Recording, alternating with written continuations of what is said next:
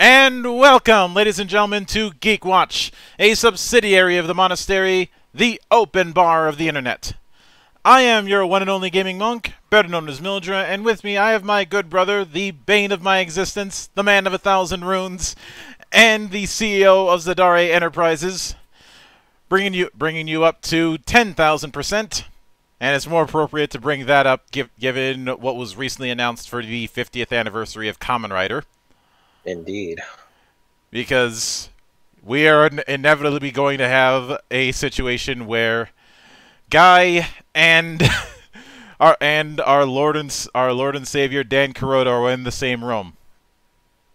and I stand above both of those weak bitches. but you know, as much as I'm the bane of your existence, at least I have standards. I'm not OBS. Yes, OBS has continued to fuck with me, which is why this particular episode is being pre-recorded, and future episodes of Gazette and Geek Watch will be pre-recorded until I figure out a way out of this bullshit. I've done this before. I'm gonna be doing it again. So, as you can see, the this particular episode is class warfare, Monster Hunter weapons as classes, because, well, Monster Hunter Rise just came out, so why not strike while the iron is hot?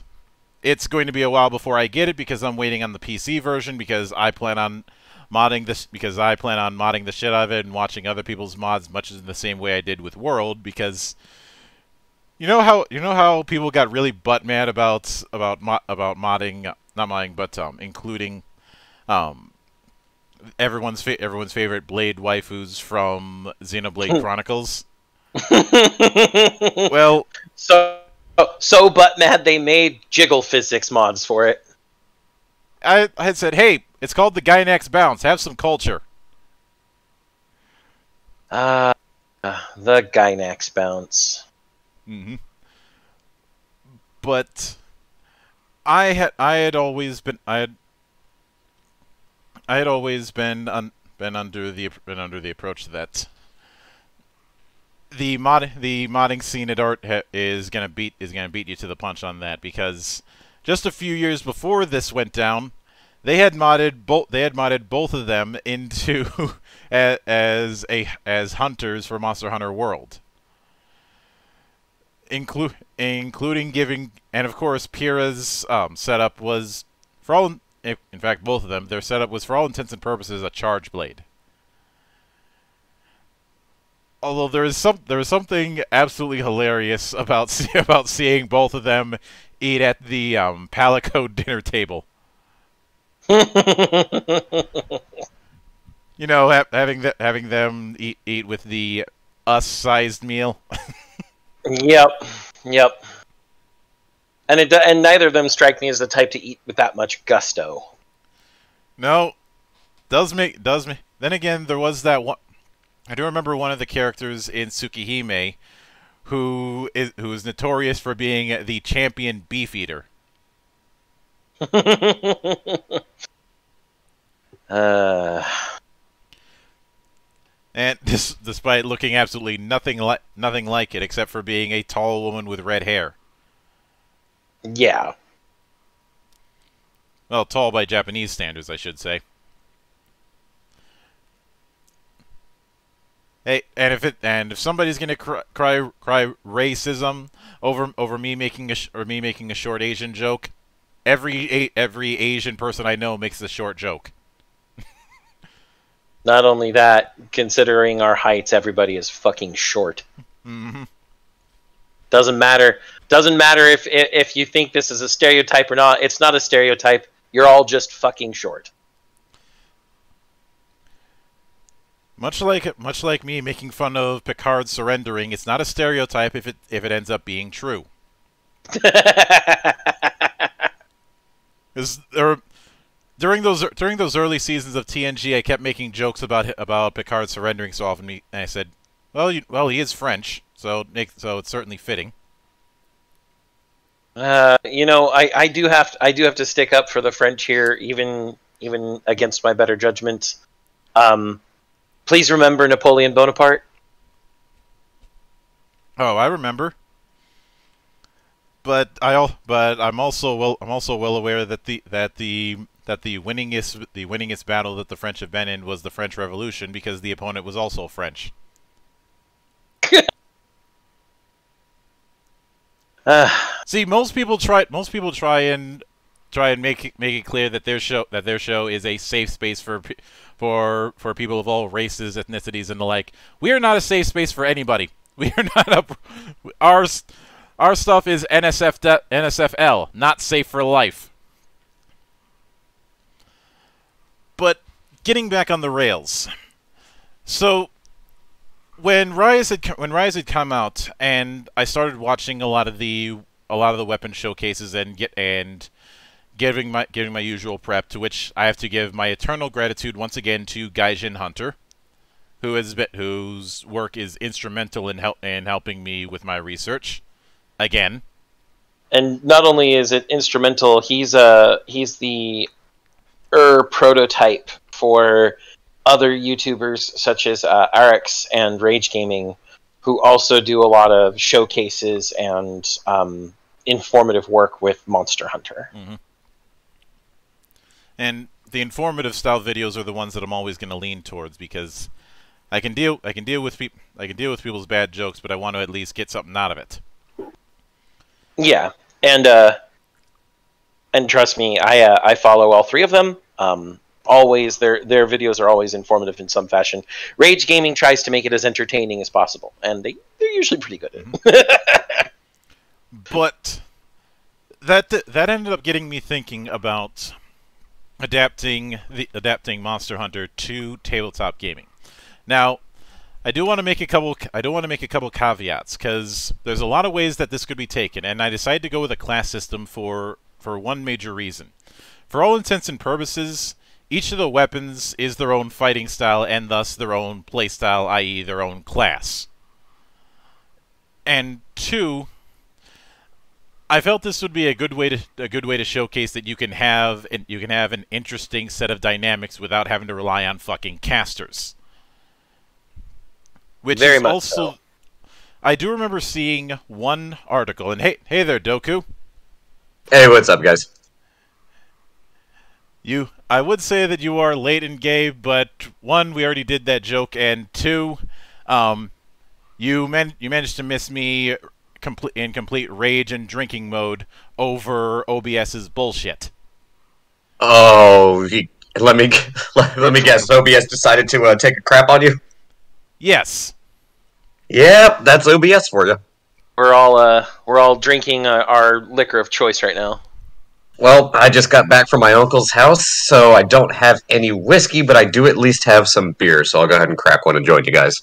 I'm having vodka. I'm having vodka and pure cranberry. And I'm Mm. having Tennessee honey. Ugh. Well, fortunately, I at least did have some whiskey while I was at my uncle's house, so I'm not too far behind. Oh, that's good stuff. I love Tennessee honey. Tennessee honey is good stuff. But the thing, the but when it com- when it comes to this when it comes to this approach, um, I do remember seeing an article on it was either Bell of Lost Souls or somebody else, probably Bell of Lost Souls because that's all they fucking do these days. um, of adapting Monster Hunter to D&D 5e, and I decided I am not going to go down that route for several reasons. One, the big damn elephant in the room that's decided to break into my house and take a, and take a crash in front of the TV. That is with a fantasy setting, even one that wants to claim, "Oh, you can do all kinds of fantasy with D&D." No, that's bullshit, you know it. Don't you can lie to yourselves, but don't lie to me. Is the fact that D the fact that a lot of fantasy games, D&D especially, is still reliant on needing magic systems to make things interesting. Monster Hunter may be a fantastical setting, but when the fuck did you see anybody doing spellcasting? The closest magical things in Monster Hunter are not the hunters. It's the elder dragons. Remember, people, in Monster Hunter, all the monsters are considered just megafauna. They're giant animals, Mhm. for lack of a better term. Yes, they can cause devastation. It's never intentional, and it's usually just something about them encroaching on the territory of the people around them.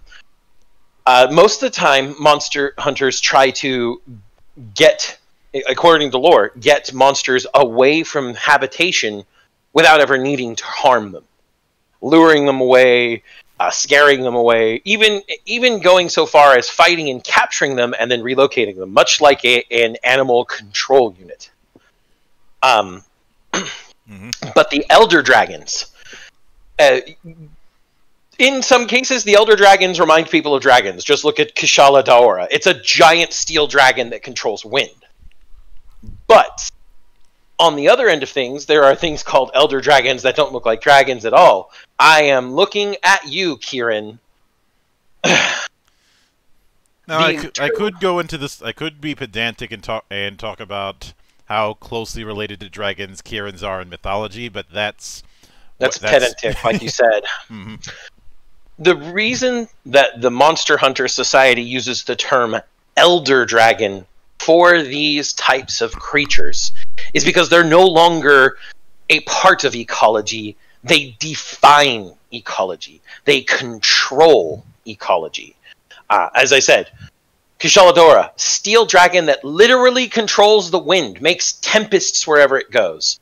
You've got Teostra, lives in a volcano, causes giant explosions. You uh, looking at very recent entries, such as Monster Hunter World, you've got Nergigante, who is this giant, endlessly regenerating motherfucker that eats other elder dragons for fun and profit. These things are beyond understanding in certain aspects. They're the magical piece of the Monster Hunter world. This is going to be fun for me because I might be the only nerd on the planet that never actually got into Monster Hunter. Oh, trust me, Doku. Uh, until Monster Hunter World, we were a niche within a niche. I've been told multiple times, no, you should check it out, and I just haven't. It's been on my list for quite some time. Just haven't gotten around to it. I'm Um, not surprised by that in the least. I would Well- suggest with the newest entry, actually, to move to move into our point. Monster Hunter Rise, it did just come out. Uh, fantastic game. It's coming out on PC next year, which is what Monk is waiting for. If you have a Nintendo Switch, you can get it now. If you want to wait for PC, wait for PC. But this would be the perfect time to come into the series. Well, I guess I'll be waiting a year because, as Mildra knows, my list is long, but that at least gives me some time to catch up on some stuff, so I won't be too uh too swamped. So I'll actually go ahead and put it on my list. Uh, just to touch on the point you were talking about, so it sounds like the uh, the elder dragons or the magical element of this universe is kind of more like sentient natural disasters or calamities. It's they're quite literally a force of nature, not just in the sense of oh, hey, look, it's an overgrown tiger. It's like, no, this is literally the element of wind being wielded by something that you shouldn't piss off. Yes, quite literally a force of nature. That is the perfect way to describe it. That's in fact how in lore in many of the the uh, games they say these things are a force of nature. Full stop. Oh, wow, so that was a bit more on the head than I expected it to be. Good to know. For for example, there have been numerous Monster Hunter games, and uh, I'm sorry for stealing the thunder here, uh, Mildra, but this is kind of my was counting of- on it. my, my, my time to shine. Um, the Monster Hunter games have always innovated with each game in the series. They've always introduced new monsters, new mechanics, and new what some would call gimmicks. Um, and as such, you get an escalating level of power, but the power scaling never feels like a shonen battle anime, so you're good. Okay, so But- it's not DBZ. Gotcha. but just to give you some uh, some information in Monster Hunter for you, there was an elder dragon, 440 meters long, called Dalamadur, a giant snake that crushes the tips of mountains. No, I say snake, but it does have arms and legs. Um, you made explosive weaponry, and out of its out of its bits. but with the in- introduction of Monster Hunter World in the Rotten Vale, much of the Rotten Vale, if you look up and take a closer look, is a giant skull and long line of vertebrae and ribs. And the skull is very reminiscent of Dalamadur, which led many of us to believe, and Capcom to never ever reveal, that maybe the Dalamadur you fight in 4U is an infant. Oh, And that's Shah Dalamadur grows to the size of mountain ranges. that's that would be terrifying. And also, I I love it. Just as a side note, I love it when games actually do things like that, but actually have the foresight to not answer it and just leave it up to fan speculation. Because we love we love Easter eggs like that. That's the whole.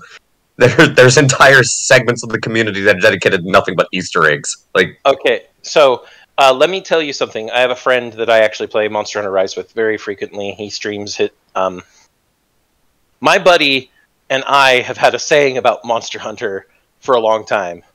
Monster Hunter is the underrated king of of minute details, small things you can find everywhere in every game that unless you looked closely, it's a blink and you miss moment, or it's a huh moment, and you don't really think about it unless you take the time. Um, one of the most recent ones, and this is a small thing, um, in Rise, your farming system, in order to farm certain materials without having to go out and pick them up off of maps all the time, uh, sends your little hunting buddies called palicos out in submarines to go collect collect these uh, items. And if you send them out and immediately go to the gathering hub and out onto the deck of the gathering hub to look at the river, you can actually see them floating down from where you sent them through the river, bumping into each other and having fun. It's a tiny detail. It's something you may never encounter if you don't go to the gathering hub immediately after you send off your your farm. But if you do, you'll see it. And that's it's not- actually pretty cool. yeah, and it's not, it's not something that it's something like 95% of people are never going to run into. And this is the same for weapons and armor and lore. And so this is this is the draw of Monster Hunter. And so this is why we wanted to take the time to focus on the weapons and how you might be able to take those weapons into a tabletop.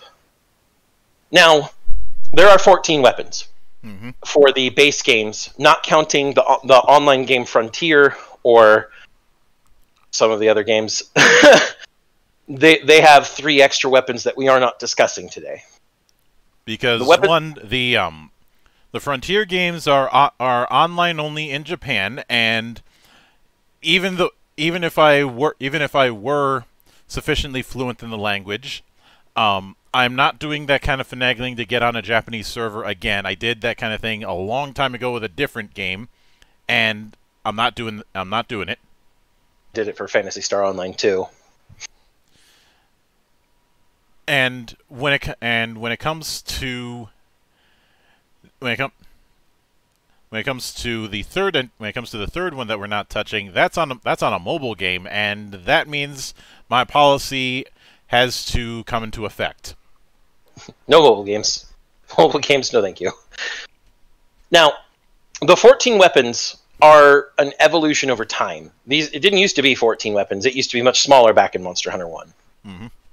But we have great sword, long sword, sword and shield, dual blades, hammer, hunting horn, lance, gun lance, switch axe, also known as slash axe in Japan, charge blade, also known as charge axe in Japan, insect glaive, light bow gun, heavy bow gun, and bow. Now, none of these weapons are magical in nature. Uh, they can sometimes apply statuses or elemental damage depending on the bits of monsters you've used to make them. But inherently, these are big old pieces of metal and bone and and monster scales all melded into a giant flashy weapon that does amazing things. They're also all inherently fucking gigantic. Even sword and shield is pretty big. Um, the shields are big and chunky, even though they're only the size of a forearm, maybe in most cases. And the swords are about as long as the leg of the hunter. But they're the. I would say that dual blades and sword and shield are the smallest weapons in the game. hmm Even the bow is larger.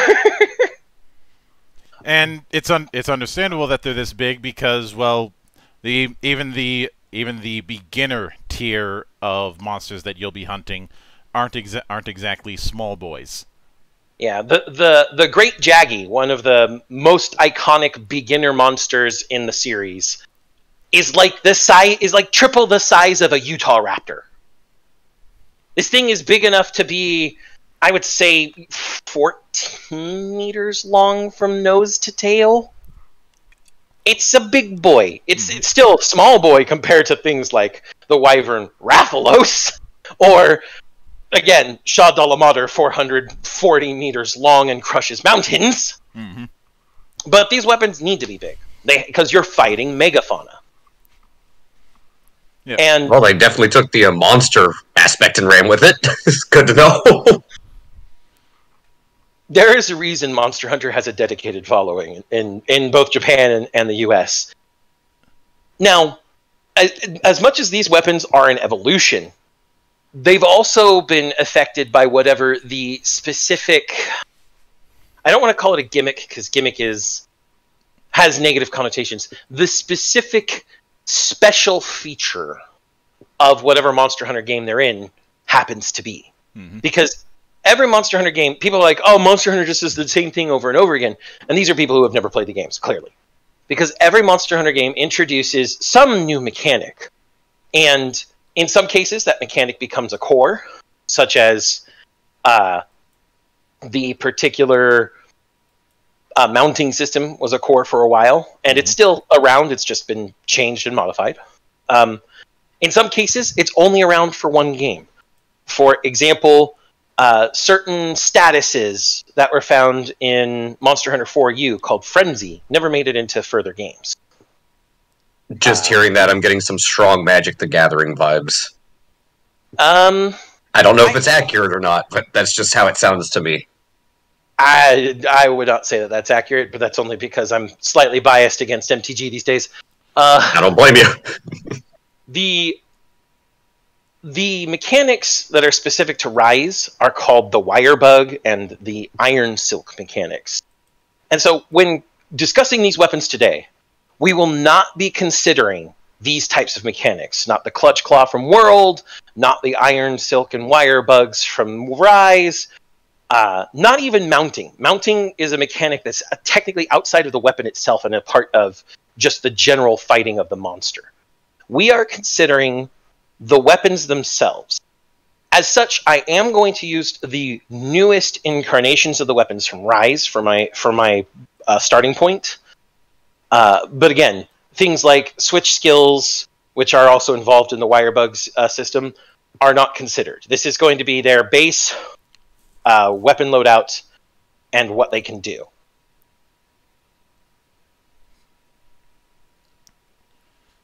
All right. Additionally, sorry. Um, additionally, there's a set of talents that uh, we're going to be looking at that are universal to how hunters fight. And so I I almost think of these as a monster hunter as the class and the weapons as a loadout within that class. Given now give, given that given that I do I do before you end up getting into the talents thing um there's a, there's some there's something that, there's a few things that I think we need to bring up to set the stage. One is the is the fact that I don't think it would be off base of me to say that Monster Hunter leans far in far more in the direction of um so, of sort of sword and sorcery or low fantasy than it does the high fantasy that a lot of people see things as. yeah, it's it's very very uh, low fantasy. Mm-hmm. Um. Sec- secondly, we need to we need. If I already mentioned that um, that we're not using D and D, we're not you we're cer- we're certainly not and we're certainly not using um, Pathfinder. We are using 13th Age as the basis for this, and I chose this for this. This was my call, and I chose this for several reasons. The first is the idea of doing 20 levels worth of entry for all for each type of weapon seemed overkill. And I know somebody might say, "Well, ju- just use just do the whole subclass thing." That's a that's Wizards' way of thinking. That's not how I work. I'm not the I'm not the kind of person who- just says, "Oh, just force it into a subclass of one of our already established classes." No. No, no, no, wrong. Second, secondly, there, there, like I said before, there's the magical elephant in the room. So I wanted to use something that could have, um, an, an, an interesting amount of dynamic without falling back on magic. And no, and thir- third, I am I am not going to do the whole do the whole oh, oh just have just have it as G, just have it as GM fi- fiat attitude that so that so many grognards have because because that because that doesn't work either. They'd probably just have it a as they'd probably just have every different type as a variant of fighter, and I have no desire to go through that bullshit. Now, what because of because of that, when I lined everything up, 13th Age was the one that was most fitting. Now, I have reviewed 13th Age on two videos in the past. One when I was comparing it to Unity, who I would love to I would love to get in contact with the developers of Unity, but they've but they just disappeared a while back. And two, the the uh, the review of it of its major class expansion, 13 True Ways. 13th Age does have a 10 level setup for its classes using the three tier setup that you saw in D&D 4e. But there is there are no static levels. Every every singular level is going to get you something and it's going to be something that you're going to want to have. Yeah. and it's for it's for that reason that I cho- that I chose 13th Age as the basis for this. Initially, we were going to go with the idea that each um, weapon would be its own class, but as time went as time went on, that became a little bit trickier to do. So we improvised because, as the saying goes, no plan survives the first encounter. Now, when you were developing this, I had I had asked I had asked you to, ha- to handle that short list. Now, I do before we get into that, I do need to explain talents.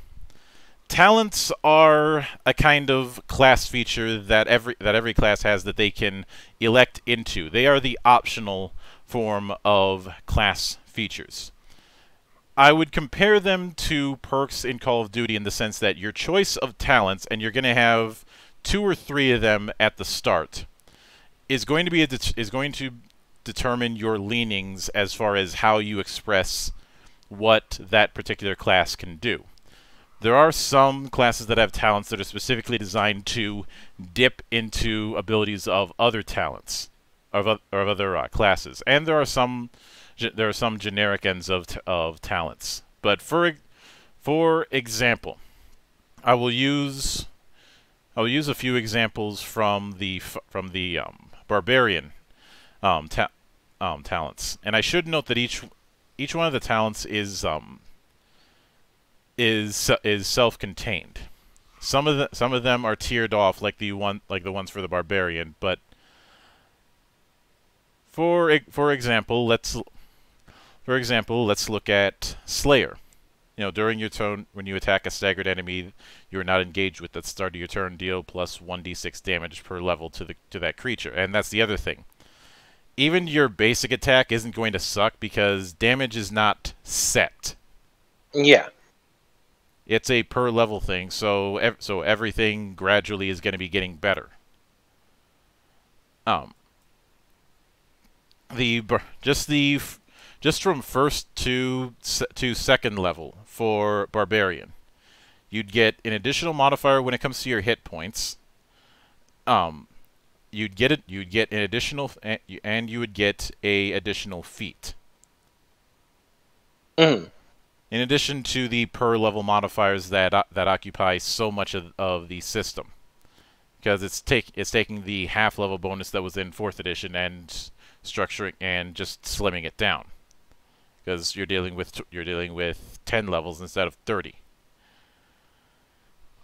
and that and that is the reason why we ch- why we went with this one. I had thought about doing fantasy craft since it is theoretically flexible enough to handle the kind of equipment that's seen in Monster Hunter.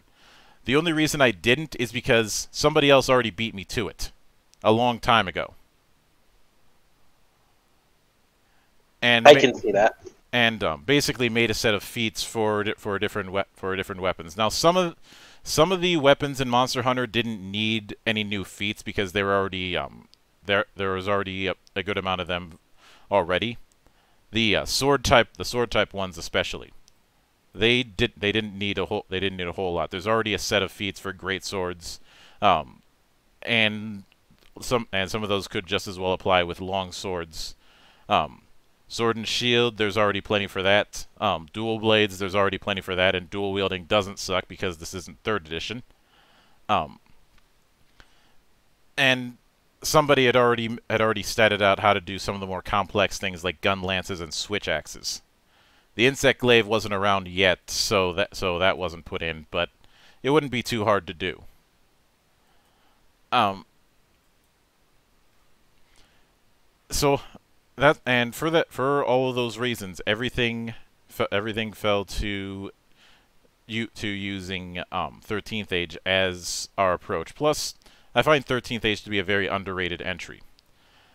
Now, as we said earlier, there are three weapons we're not touching, simply because we don't have reliable access to it.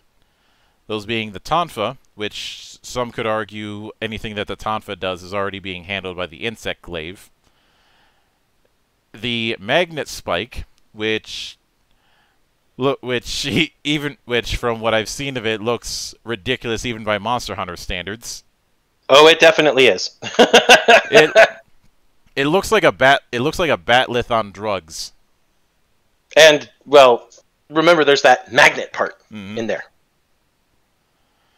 Um, and the Accel axe, which just look which just looks like it, which is well, an, it's an axe with rockets on it. Because there's nothing that says acceleration like rockets.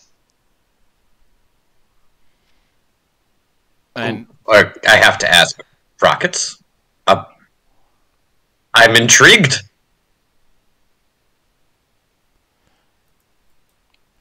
and as intriguing as it is, um, the Accel Axe was in the mobile game, so can't do it. Oh, oh, damn, that's a shame. Oh well. Um, although when you listed off the weapons, I noticed that you did that you didn't put in the um, the medium bowgun, and I'm guessing that's because that only showed up once. Yes, because it only showed up once and it isn't in the current incarnation of weapons.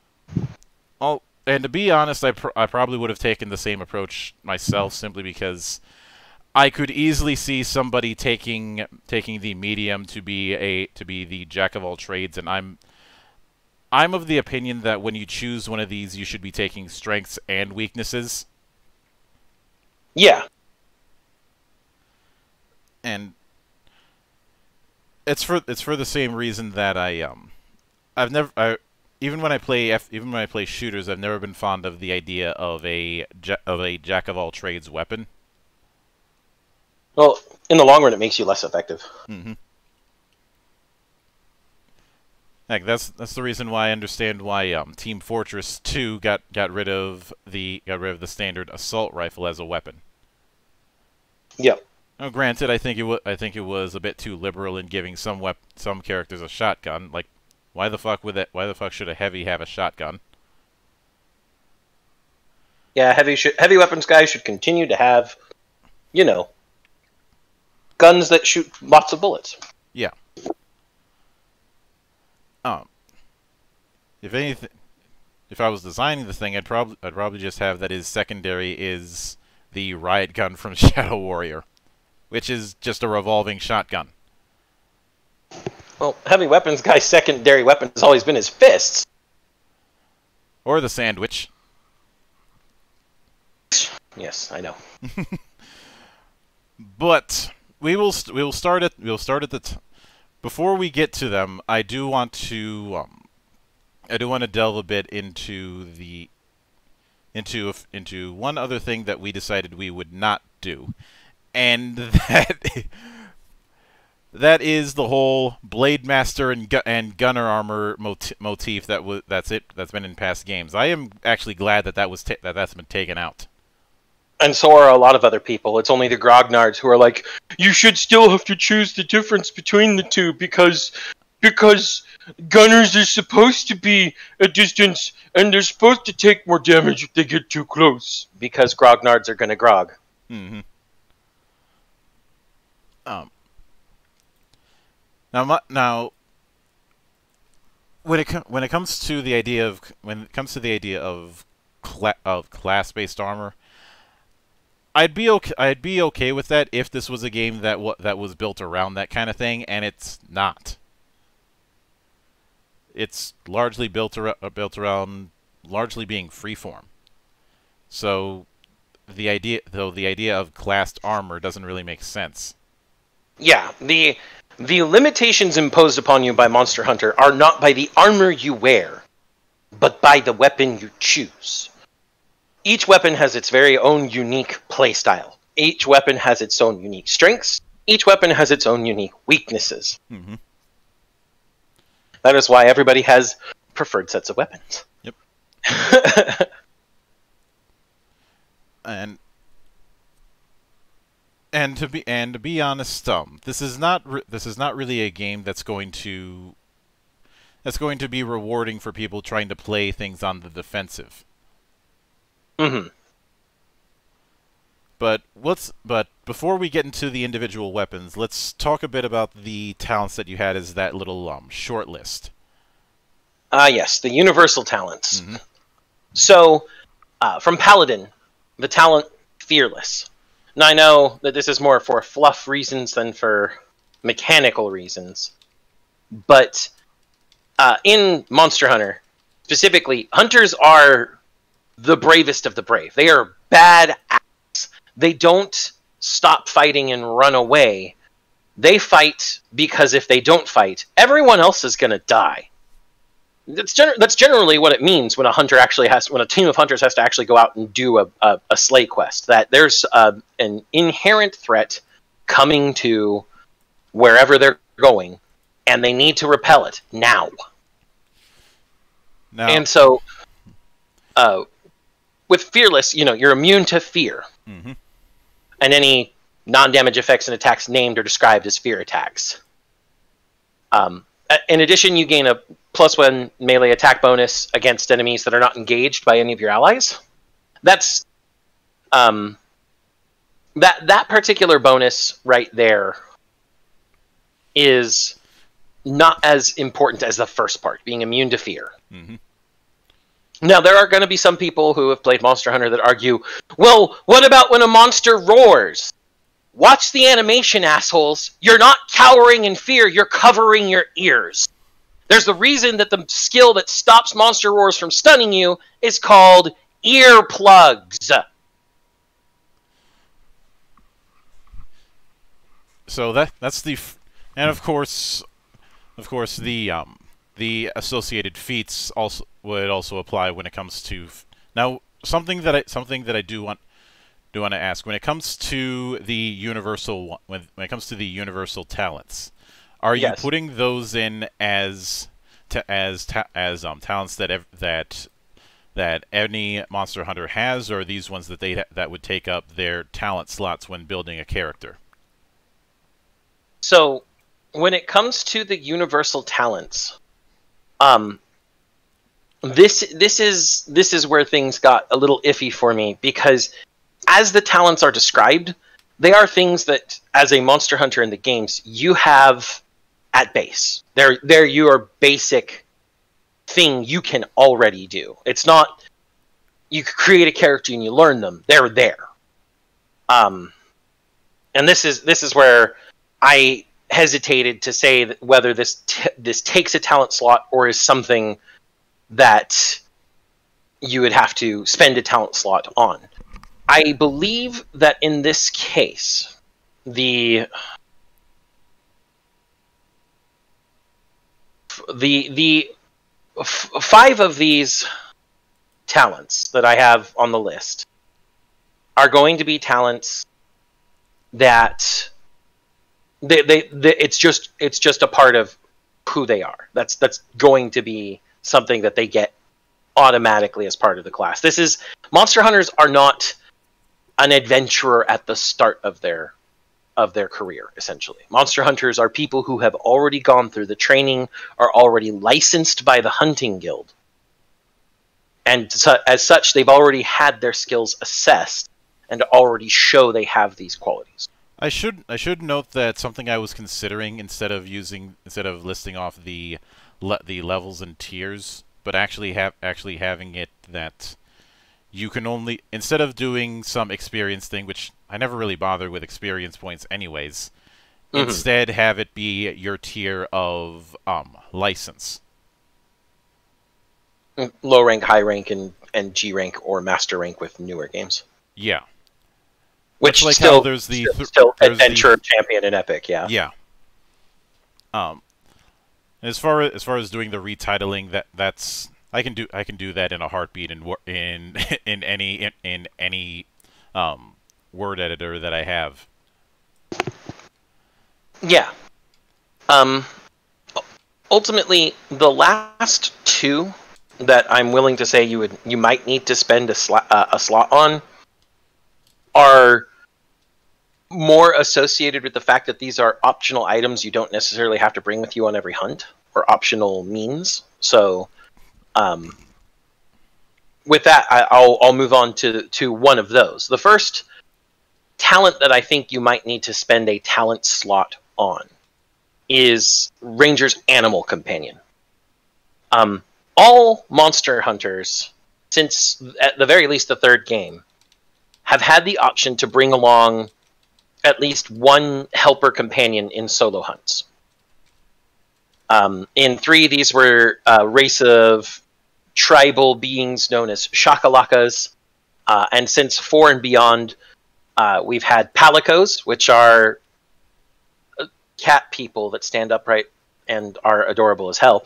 Um, and then finally, with Rise, they also introduced another companion known as the Palamute, which is a, a dog that is the size of a pony that you can literally ride and um, is your best friend. And I am never go- not going without a dog, and people can fuck you, fight me.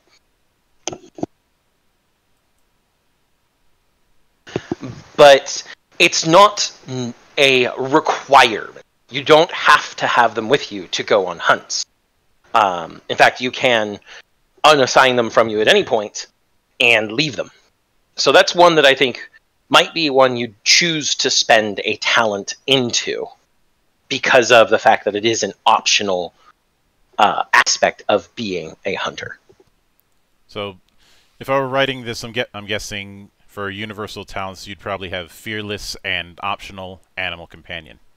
Yes. I had th- I I was about to ask whether or not whether or not you'd whether or not you'd consider putting in Ranger's Pet instead, but then I realized Ranger's Pets would be too small because they're basically um The size of crows or ravens, Mhm. or maybe even the size of a badger. Yeah. We'll get to Ranger's Pet when we get to another weapon. um, it's funny that you bring that up because it's perfect for a specific weapon, and I'll get into that when we get to that weapon. Now, it could be argued that we're that this is that we're going to have balancing problems since normally Animal Companion takes two talent slots. hmm I would argue that that's not going to be the case here, sim- simply because of the fact that you, when when somebody is picking Animal Companion, they are making a conscious choice to to make their set make their setup more complex. hmm Um, now the next universal talent that is again part of being a monster hunter and thus non-optional is again in Ranger. It's tracker. All monster hunters can track the monsters. They know how to find spoor and footprints and other things to track a monster. Additionally, the terrain stunt po- portion of the tracker talent uh, covers improvisational uh, traps that you can find in the environment in the games. Things like a set of fireflies that, if you disturb them, create a bright flashbang, and you've now given the monster a, a flashbang and made it confused. Or knocking down some vines, getting a monster to knock down a huge tree to knock down some vines on top of it and act as an impromptu net trap. Th- that's that's perfect for a terrain stunt. That's absolutely within the realm of terrain stunt, and all hunters can do it. Yeah, and I'm put. I, I should note that I'm right that I'm that I'm writing what we've got what we've got on a um on a on a document. Um, Yeah, and I'm pr- I'm pretty sure I'm pretty sure most of now when it comes so it's so fearless and tracker you're thinking are going to be universal i.e. even at even at the start you're going to have these and animal companion is a optional one. Yep. Oh. Uh, the and and like I said, out of the the list of seven of these universal feats, most of them are things that are inherent as part of being a hunter, Mm-hmm. Um, and that's that's why I'm I I was hesitant to create a universal list in the first place, but realized that there was no other choice. Yeah. Um, what would be what af- after um tracker? What would come? Ne- what would come next? In the rogue tree is going to be the next optional trap sense. Now, I know trap sense is, is mostly involving finding traps and making sure that you don't get hurt from traps. But monster monster hunters also use traps potentially to uh to capture a monster and take it elsewhere. Now, I I couldn't find a talent that covered that specifically, and I I figure that's more an equipment based thing. Um, if that's the case, I'm more than happy to say the trap sense just goes out the window and doesn't matter.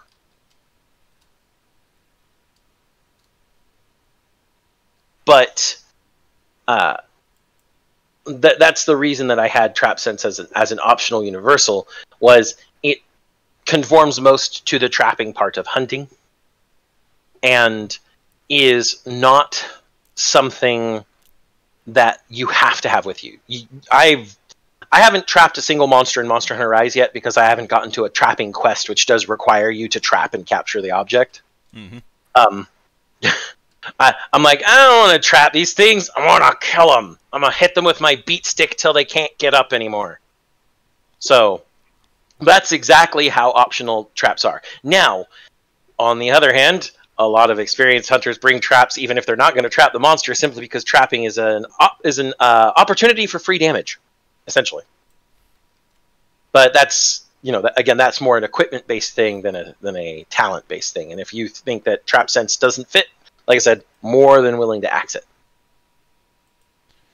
Um, I got I got thrown off for a second because trap sense is technically a class feature of rogues, not a not a talent. But um, True.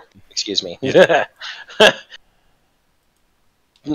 features and talents kind of blend into one here, because I know that one of the class features of Rogue is going to feature in at least five weapons. hmm So, let me let me make sure. Oh, I didn't want that as a subtitle. I wanted that as a title. Okay, so let me put that in. So I, ju- I just put, Okay. so and as far as far as as far as pairing as and with each with each of these I'm still I'm still putting it that so, that if somebody wanted to get the um, feats for them that that would be something they'd have to spend their feat slots on. Yes. I'm going with the very basics. I uh I saw the feats. I said, "Oh, those feats are kind of cool," but I kept them out of consideration when con- when looking at the basic formation of the of the talent or feature. All right, that makes sense. Now, the next required uh, power, I guess we'll call it, since I've been mixing up features and talents apparently, um, is a class talent of the rogue. I'm, I'm, I'm double checking to make sure. Yes, it's a class talent. It's tumble. Every hunter has the ability to roll away with their weapon out.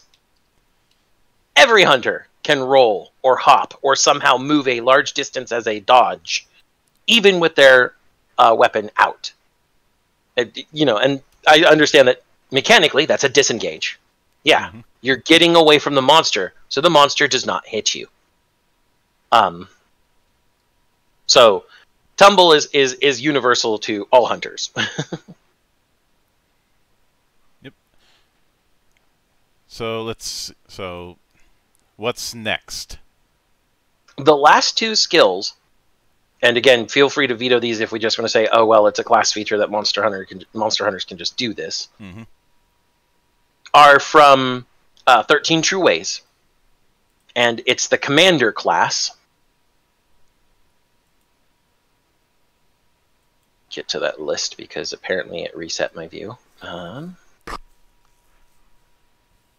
so, of the Commander's talents, the only two that even fit a monster hunter um, and make sense as part of a monster hunter are armor skills and martial training.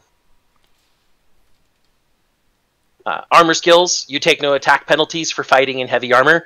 Uh, and this is true in Monster Hunter. You can fight and hit just as easily with your with your weapon in the leather armor as you can in the Uragaan armor, which looks like extremely ornate plate armor that's literally inches thick. Although, when it comes to that, would would should it be a case where they where they have that, or is or should they have should they have it that they that they don't that um the that the that um the ability to use heavy armor is intrinsic to class? Because on one hand, I can I can see it that that I don't that the talent doesn't need to be in there. We can just put that in for the for when it comes to the weapons and armor section of the hunter class. The uh, on the other hand, um, and actually, actually, given some of the feats for armor skills, that one I might have to I might have to just veto because some of them are not going to are not going to fit. Fit. Yeah. Like Okay. say- yeah. So what what was the other one? Uh, martial training, where you do not take an attack penalty when fighting with heavy or martial weapons. Same thing Yeah. applies. Okay. Yeah. All right. Yeah, I, I put them because again, I was not considering the feats at the time, just the basics. Mhm. So that means that we've got a list of five universal uh, powers, two of which are optional. Yes. And I think that's a lot more balanced than what I originally had. I really appreciate that. Um, Nice. But So un- unless I missed unless I missed one, we have for universal talents we have fearless, tracker, trap sense, tumble, and for op- for optional we have animal companion. I feel like I missed one. Trap Sense wasn't optional because Trap Sense is uh, equipment based. If you don't bring the trap, Trap Sense wouldn't necessarily apply. Um, That if you want to keep it as just a, a straight universal, yeah, um, I did. I did, but I, I feel like I feel like there's one that I forgot to put in. Nope, it's those five. All, all right. So Because because those are intrinsic to being a hunter. So, taking the, taking all that into account, we'll start. We'll start with the we'll start with the melee uh, we- weapon. Before we before we start before we start with any um, with any with any with any of the weapon entries, we do need to set up the um, hunter class. Now, I do think that the that some that some of the advancement setups that are used in the fighter make for a very good starting framework. What with its hit its hit points rate, its feet its feet rate, and its um talent rate. It's also good because of the um, the maneuvers can cover some of the more advanced things that hunters can do with their weapons. Mhm. So you you're thinking of keeping the man, keeping the maneuver pool and and and leveled maneuver pool that um the that the fighter has. I'm thinking of maybe limiting it. I'm not sure that eight maneuvers is going to be anything more than giving monster hunters even more than they're already going to get. Um, I think I think it should probably cap out at around six maneuvers. And while I haven't taken a good look at all of the maneuvers, um, the the maneuvers some of these maneuvers may never apply especially with how monster hunters fight um, There is Although- one there is one th- there's a couple changes that that I'm th- that I'm thinking of making. Um one of one of them is is um in is in reg- in regard to because the the reason why I think it go it's going with that rate of maneuver increase is so that there's something that you're getting at every level. okay i can see that Um, um, and a lot of the first level maneuvers are things that you do as a monster hunter all the time uh, carve an opening deadly assaults uh, heavy blows precision attack second shot shield bash two weapon pressure those are all things that are intrinsic to even weapons Well, If keep you- keep in mind that there's nothing stopping us from using maneuvers from using using maneuver-like effects from other classes as maneuvers. Yeah, I, I'm absolutely sure of that. And uh, but just the, the maneuvers in the in the list for fighter itself, almost all of them are things that I have in some way, shape, or form seen. Uh, seen happen with uh, with actual monster hunter mechanics. Um, a perfect example in fifth level maneuvers, hero's skill. Um, this looks like it. It's a maneuver that makes it so that you'll still hit, just not with as much damage. There is one there is one thing that I am that I am going to that I'm going to change though, and that's Hmm. the that's the whole thing with class talents. Instead of doing the whole you get a fourth one at um at sixth level, I Mhm. want I want to use the I want to use the rate that's used for um, barbarians. So they, Okay. they get an ad- they get an additional one at fifth and eighth. I, I can agree with that definitely. Um, but the fighter, the fighter is basically a great template to build the hunter on. Mhm. Um, especially with things like uh, the total amount of feats. That gives a, a nice amount of flexibility.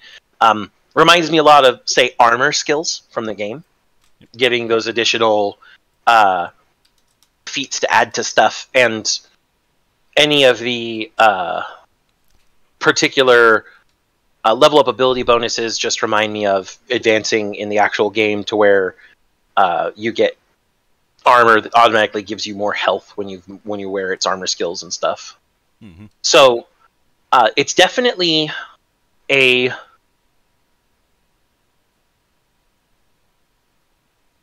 it's definitely a uh, a fantastic template to use. Yeah. Now, beyond the, I've already got the the initial chart set up, and the and of course and of course that also that that also means that that it has the re, the re, the requisite rate of um of hit point increase, which is usually which the formula for hit points is at the start, it's 8 plus con mod times 3, hmm which I'd say is a um I'd say that I'd say that's a de- that's a decent framework to go by. Yeah. Um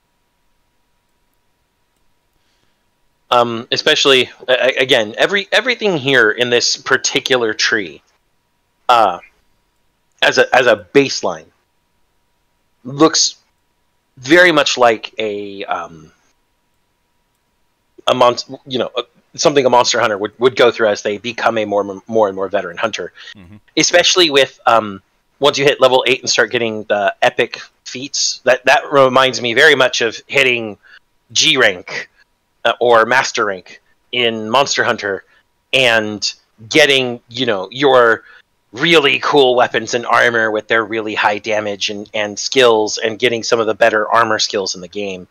Um, so this this entire progression definitely reminds me of low rank, high rank, G rank.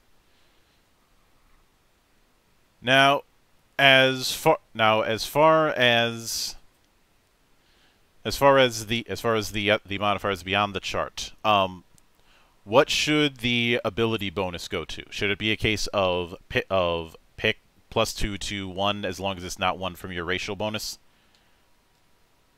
Uh, or should it be um, strength and con the way it, the way it is for the fighter?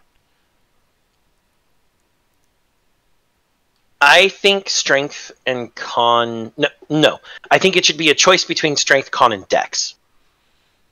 Mainly because of the ranged weapons such as the bow guns and bow, and the more dext- dexterity-based weapons such as dual blades. So, what I've got what I've got it written as is ability bonus plus two to strength, constitution, or dexterity, different from as lo- different from racial bonus. I.e., if you pick if you pick if you picked plus two to strength for your race, you can't pick plus two to strength for your class. Correct. Which is which is why, as I mentioned a while back, when Wizards of the Coast was doing the whole, we're gonna let people pick which which ability modifiers go go to go to which instead of having each race ha- have it set, and I'm like, um, for one, I'm not giving I'm not giving you a cookie for something that you for for you fixing a problem you already had a solution to years ago, because the because the whole thing was focused on them wanting a cookie for getting rid of mine getting rid of ability subtraction modif- modifiers for um, races in 5e, and I'm like, 4e fixed this problem in 2008. You don't get a cookie. If anything, you should be giving Rob Heinsoo a gift basket. Mm-hmm. Um, now initiative is Dex mod plus level. I don't think you're going to be changing that. Nah, no need to. Um, armor, Not unless you meant. I mean, uh, skill checks always change that anyway. Like if you're sneaking up or whatever. Mm-hmm. Um, armor class. I'm pretty sure you're still going to go with the whole base plus middle mod of con dex whiz um, per plus level. Yep. Um, Although, um, the armor class where it says shield and heavy armor, um, that's actually going to depend on which weapon. Uh, that 16, I would say, would be the shield from Sword and Shield, which is the smallest shield in the game. I do Um, all any shi in core in 13th Age's core rules. Any shield that you have just gi- j- gives a plus one to AC. I think in this, I think in this case, we would have to spec we would have to specify, and I'm going I'm going to excise that and put and put that in as a default when we get to certain weapons. Yeah, yeah, that's definitely a good idea. Um, because not all shields in Monster Hunter are created equal. Mhm. Um, in terms of blocking ability, it goes lance, gun lance and charge blade, sword and shield, and then great sword, which can be used as a shield as part of as as like part of a maneuver. Essentially, you can block with the great sword. Mm-hmm. So, and now physical and mental defense. I'm guess I'm guessing you're gonna have that formula be the same. Yeah, because your physical and mental defenses are going to be most affected by armor skills, things that give you bonuses against your statuses and your elements. Um, hit points, we already covered that. Um, Yep. Are you going to have recoveries 9, or are you thinking of modifying that? Um, I don't know uh, exactly how powerful a recovery will be compared to how the potions work in the game.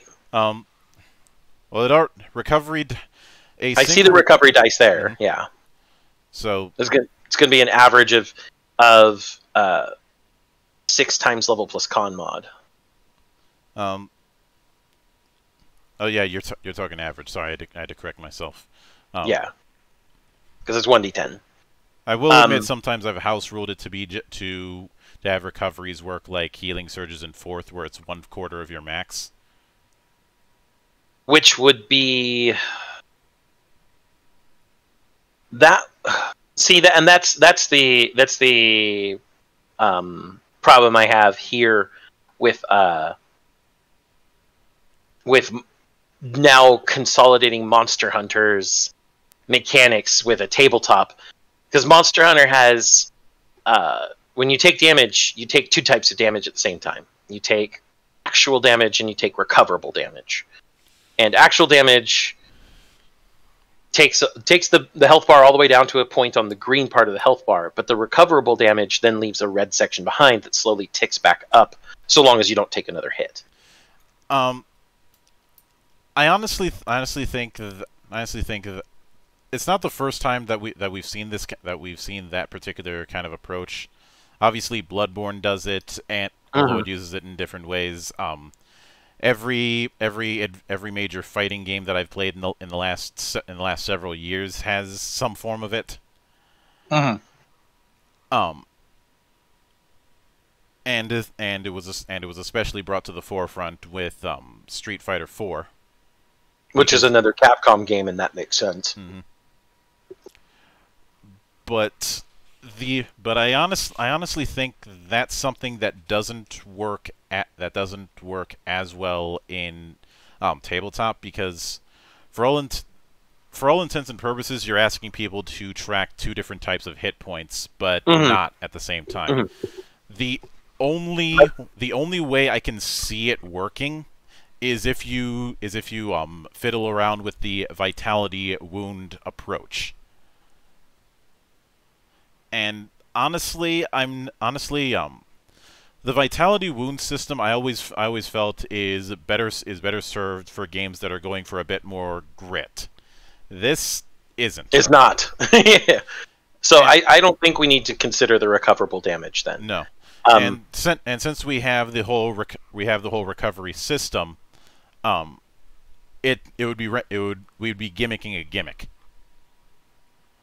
Um, honestly, I'd go with your house rule of a recovery record uh, restores quarter damage, quarter total max damage or total max health. Um, because that's about the amount that a potion will restore when you've got the full 150 health in the game.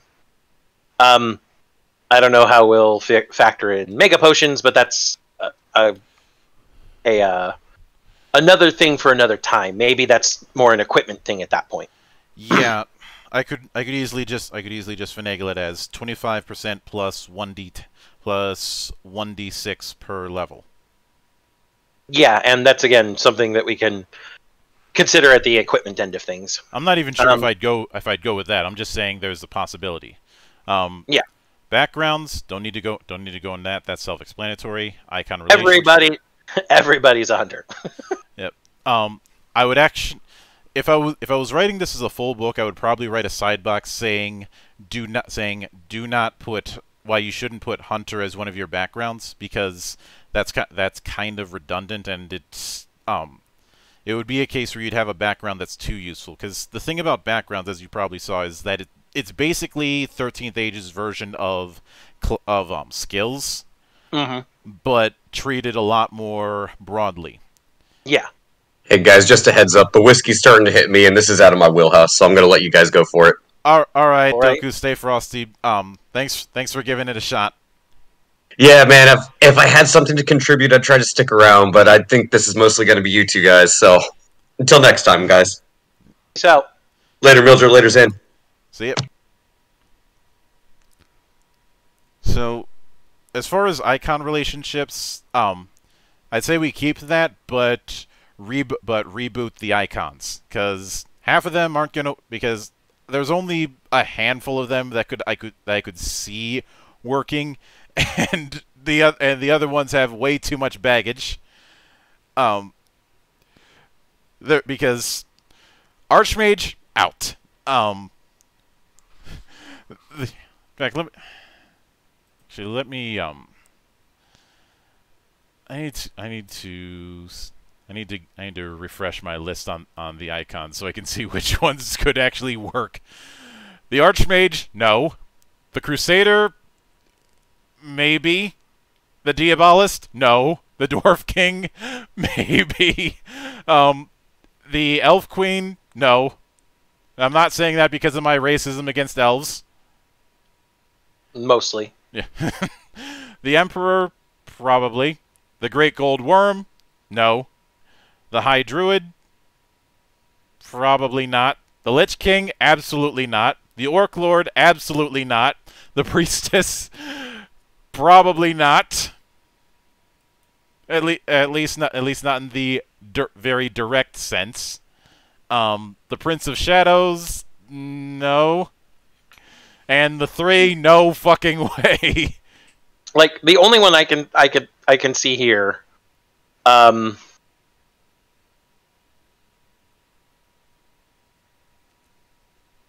is the Dwarf King and the Emperor. Like the only ones I can see that would actually apply would be the Dwarf King and the Emperor. with something like this, I'm I'm far more incl- I don't want I don't want to get rid of the icon system because I like I like the icon system. I think it's very very good for helping establish character. Mhm. Especially it's basically this game's replacement for alignments. It's just that instead of alignment you have the whole you've got a positive relationship with an icon, a negative relationship or a conflicted one and how it, that's interpreted is up to the GM and the players. Yeah. I find I find that's far more engaging than the nine alignment chart, which um, is perfectly fine if you're dealing with the co- cosmic forces of order and chaos. But if you're but if you're not, it has problems. And which when when you try and use it as a morality system, it has more problems. Which is what that's the reason I've always been critical of the alignment system, not for not for the reasons that certain stupid people have been critical of it. Hold on. You said the Great Goldworm no. However, I would say the Great Goldworm yes, looking closer at it. Only because of the fact that uh, with the lore uh, introduced in Monster Hunter World, we're introduced to the story of the Sapphire Star and how the the five scales of the five great dragons created the world. And and that with the guidance of the sapphire star the people continue to protect the world. So as as you know he's the inspiration for holy orders of paladins and independent heroes which is very much what the hunters are the hunters guild is a collection of people who are like i'm going to go out and hunt monsters to make sure that everybody else is safe these are all independent people coming from various walks of life joining the guild and fighting monsters so there's, I, I would say the Great Gold Worm could apply, but again, the it, three out of what uh, thirteen? Yeah. 13. because you know thirteenth age and the number thirteen and everything. Mhm. Um, I three out of thirteen is is de- definitely we need to rework maybe a new icon system or new sets of icons. Um, especially how we do especially especially since the ones that survived um the whole the whole point with the icon system is what is the fact that it's not just that individual icon but also the people that represent that icon mhm. so if somebody has a positive icon with the pri- with the priestess that also has the implication that they're going to be able to get on well with members of any church Mhm. well members of any good church obviously Gods of Light. Yep. Um, and as see, da, da, da. and as far as let's see, feats don't don't really need to change don't really need to change that. Um, Yeah. let's see, then when when it comes to when it comes to um ar- when it comes to armor, Um, I'm guessing. I'm guessing you'd have it. Stay, you'd have it stay the same with the base ACs: 10 for no armor, 13 for light, 15 for heavy. Um, yeah, especially since we can see uh, disparities in the defense stats of armors within the game depending on their their build. In fact, the leather armor does have a lower defense than say the alloy armor. Uh, so yes, 10, 10, 10, 13, 15 is definitely a good uh, spread there. Mm-hmm. Especially since um, 13th Age is not a game that is that is really really cares about the minutia. Um, the reason I didn't cover shields when it comes to the whole armor thing is is again that's something that should be tackled for for more specific cases. Yes, and in fact, um, that's why the the minutia applies on the weapons themselves. Yeah. Now, when it comes to the entry that it has for weapons, how do you feel about the about the die types that it gives? Uh, okay, let me find that real quick. Um, so the real problem is there isn't going to be anything light or simple or even small. I I can absolutely tell you right now, all of the weapons hunters uh, wield are either heavy or martial, whether it's melee or ranged. So uh, so it's so no matter what it's no matter what it's going to be it's going to be D8s or D10s. Yes, and for example, putting uh, a D8 on longsword is good. Now, Warhammer, it's talking about um, the actual archetypal one-handed Warhammer. It's not talking about what ham is in in Monster Hunter. Most weapons are two-handed in Monster Hunter as well, so they'd be at a one d10 um, rather than a one d8. Mm-hmm. And with with the ranged weapons, um, with the ranged weapons, I'd actually uh, under heavy or martial, um, I'd up heavy crossbow to a 1d10 because the heavy bowgun fires the slowest but also does the most damage. Yeah. Instead of um, putting in heavy and mar- heavy and martial, I I wrote it in at, I wrote it in as um, hunter arms, one-handed, two one-handed, two-handed. Yeah. Um with with hunter with ranged hunter arms, we only have 3. But um the spread for the, for them is actually a very specific progression. Um, light bowgun and bow tend to do the same amount of damage, so the 1d8. And heavy bowgun does more, but fires slower. Thus the 1d10. So that's the way I'd spread that there. I'm writing it as um, as light bowgun, heavy bowgun, and bow. Yeah. Light, bow, light bowgun does D8, heavy bowgun does D10, bow does D8.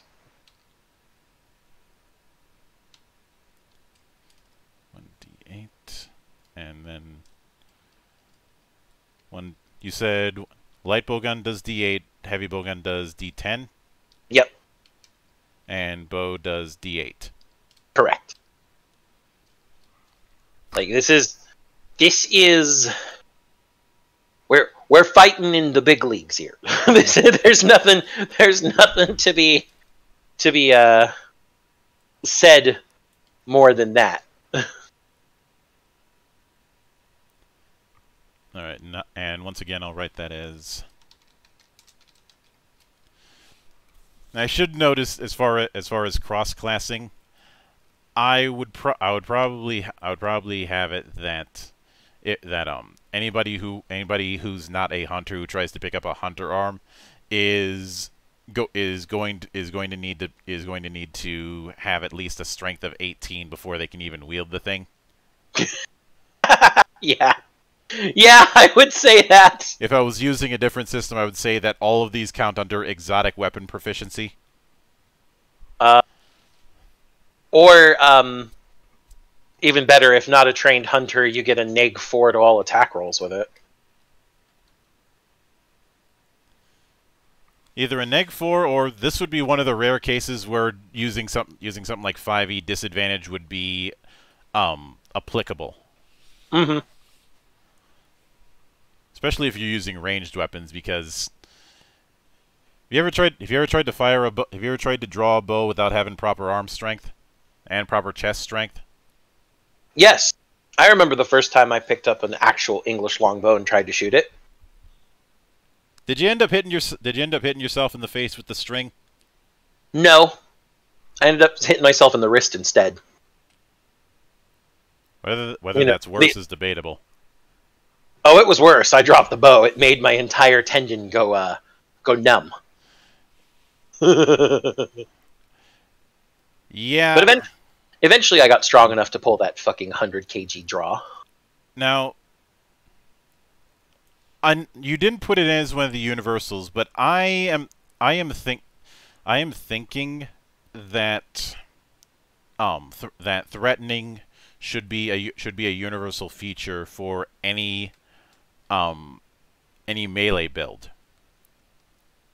Um, there is a reason that I didn't.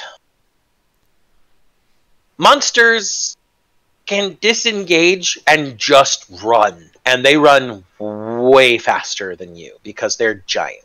Yep. Some of them even just fly away.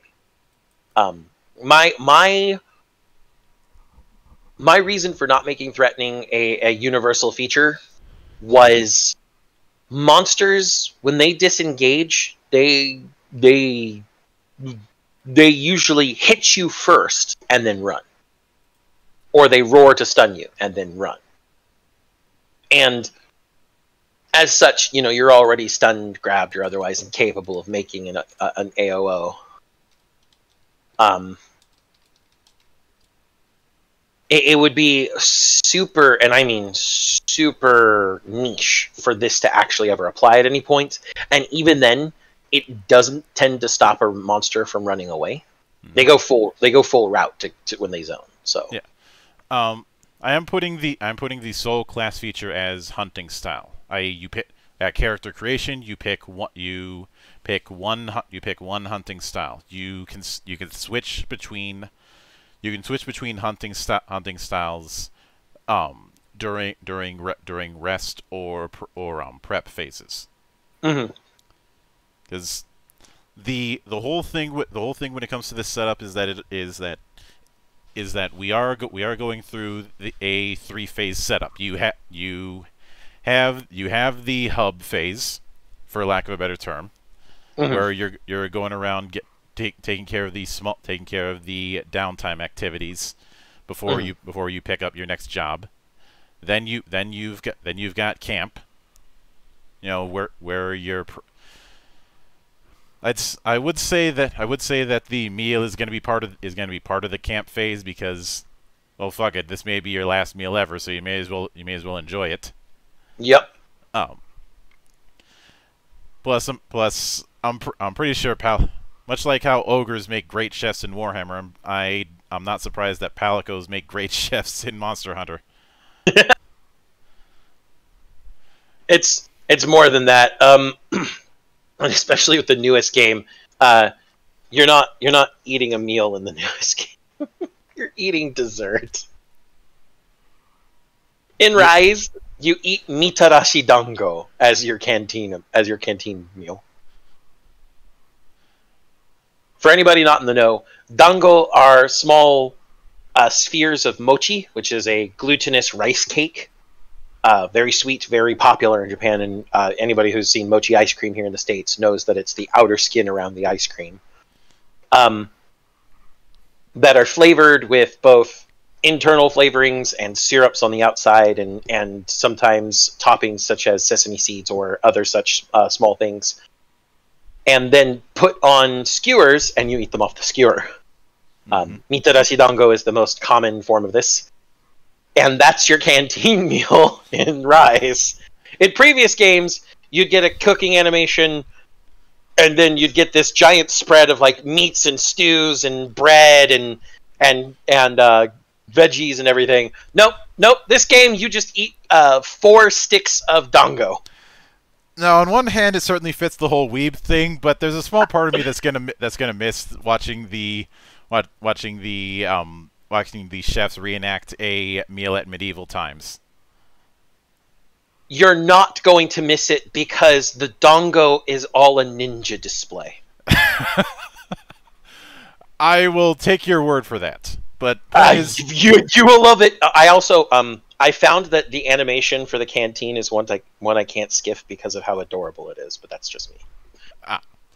um, but when now the reason the reason why I'm the reason why I'm doing this whole thing of letting people be able to, to be able to switch out their loadouts is I don't want anybody to um de- to deal with choice paranoia. Mm-hmm. I ide- ideally you sh- ideally you should be encouraged to experiment. Mm-hmm. Just like you are in the real Monster Hunter. Because in the real Monster Hunter, you can switch to any weapon you want at any time for any reason. Forge any weapon you want. You're not ever locked out. hmm The only uh, limitation is how familiar you are with the weapon. so, uh, be careful what you wish for, people. Well, this weapon's too slow. I'm going to try dual blades. Why am I all the way on the other side of the monster? Why can't I stay right beside it? That is an experience I have literally heard over my headphones more than once. Yeah, well, um, maybe it's just me, but I have I have to wonder if I have to. I know that Monster Hunter Rise is tr- is trying to be full, is trying to be full on is trying to be full on weeb shit, but I have to. But given given that a certain uh, given that a certain other massive massive handheld franchise is go- is going back to weeb elements, I have to wonder if they were drawing upon the same part of Japan. Uh, I don't know. because um, Pokemon Legends we, is what is what I was referring to, and I found out about Yeah. that around the same time as I did Rise. And Legends is going back to Sinnoh, which is heavily inspired by um, Hokkaido. Kaido, yeah. As is uh as is Kamura and its ninja village hidden in the mountains. So I don't I don't think Capcom's ever going to confirm whether that's the case, but if they did, I would if they did, I'd I'd I would simply nod and say, yeah, that makes sense. Rise has been in development longer than Pokemon Legends Arceus has. So if anything, uh It's probably a happy Right. accident. it is a happy accident because Rise was in development at the same time World was. Before World came out. Like it was developing near the end of World's development cycle. Because they have two teams. So Plus that plus th- that on that doesn't surprise me either because a lot a lot of times to main to maintain staff they'll have people working on other stuff even if that other stuff doesn't actually um, come to pass when a, when a given project goes gold simply Mhm. so you don't have staff going well I'm well I'm done so I may as well just fuck off and go to another stu- go to another studio exactly. um, but starting with the starting with the melee styles, the first one that we have is Great Sword. Yes. So, uh, first, a small overview of Greatsword from the actual games. Greatsword is your archetypal I am Guts from Berserk, I am Siegfried Schtauffen from Soul Calibur, I am the guy with the giant sword on my back, fear me, hit you big numbers weapon. It's a fairly simple weapon. You've got a lot of wide swinging attacks. Um, it can be used as a shield at times. But the big thing that comes to Great Sword most is its charge system. You can charge up each hit in the charge combo, i- i- uh, culminating in an in a final hit called the True Charge, and this is all about timing and knowing the monster. Great Sword is very easy to pick up, very hard to master. And that is actually the case with most weapons in Monster Hunter, as you'll find out as we go on. Mm-hmm.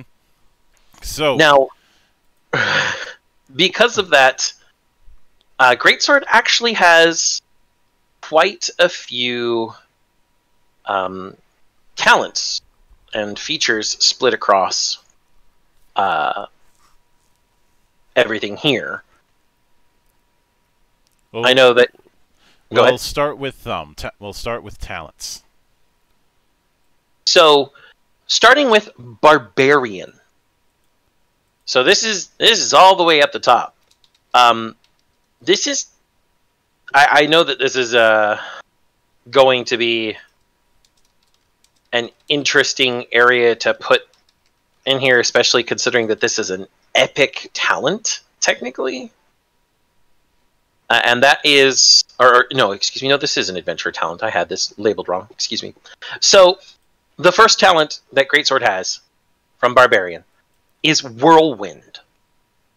Um, as I said, lots of wide sweeping attacks. There is a specific attack that that splashes the the uh, Greatsword all around the hunter in a large circle.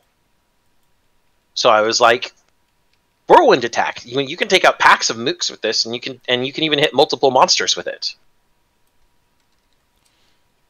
All, all right. And when you take a minus four penalty to your AC and PD until the start of your next turn, and roll a separate melee attack against each enemy you're engaged with. You deal no miss damage. Um, I'm probably going to excise the um and the engagement rule on it. Yeah, You need they just need to be within reach for this to work. I've so never, I've never been a, I was never a fan of, th- I was never a fan of that, of that particular um, ruling, anyways. Mhm. Um, large, Yep. large, largely because the reason somebody's taking whirlwind is because they want to do the link style spin attack, and oftentimes that, oftentimes that's as much, of, that's as much about, um, about threat than it is about than it is about actually being surrounded. In fact, if you're, in fact, if you have if you're play if you're playing things smart, you shouldn't be in a situation where you're where you're engaged with multiple enemies at once. mhm. Um, or if you're a good hunter, you're fight, you're fighting all three monsters at the same time and taking them out around the same point. Hi, Team Darkstar. let's see. We we won't get into those speed those speedrunners. They are super talented, and I always look at them and go, "I wish I had the time to play like that." um, I am making it. I am making it that the whirlwind has to be the first action of your turn, so solely so that um, one of the epic feats can actually apply. That being, you can use whirlwind anytime during your turn, not just the first action. yeah, I can see that. Um, one of one of the epic feats was you can use it on thrown weapons, which is just that. Which one is ridiculous, and two, um, nobody's gonna be throwing their great swords, so that's out. True. All right, what Very you, true. what what talent do you have next? Check my list. Uh, the next, the next one I have is down in fighter. Um, and I don't think this is technically a talent. Hold on. This might be one of the maneuvers. Uh, no, this is a talent then, I guess. Mhm. Okay, yeah. Uh, power attack. Once per battle, before you roll an attack, you can declare you're using power attack to deal additional damage with that attack roll. Uh, if the attack hits, you deal the following additional damage. Um, I'm I'm looking at power attack as a form of the charged attack on the weapon, because as I said, one of the things that it does is you can charge up your hit before you hit with it to do more damage. Um, and so I don't know how we'd want to modify that because it does make you stationary when it comes to the uh, the great sword. If you start charging your attack, you're standing still. Um, and it does way more damage. I would pro I would probably I would probably mod the the thing that I would mod is the timing, i.e. when it's your turn you declare power attack but you don't act but you don't actually do the roll until the end of the initiative count. Okay, that makes sense. So you're you're essentially declaring that you're going to go last just to do power attack. Yeah. I can see that. Some other um other instances that have that have used power attack have done the whole you take it you take a mod you take a um, penalty to your defense to boost attack. Yeah. Um, there is te- there there is the there is the restrictor of once per battle when it comes to when it comes to how it works in core, but I don't think that would really work. Yeah, I um I think by taking out the once per battle and instead putting in at the end of the initiative, uh, you act at the end of the initiative count would be the a good trade off. So put-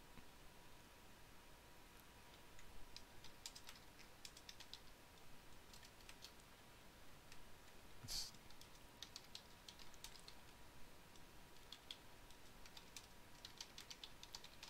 Um, and as far as it dealing what, um, I feel like you'd prob should you should the die be bumped?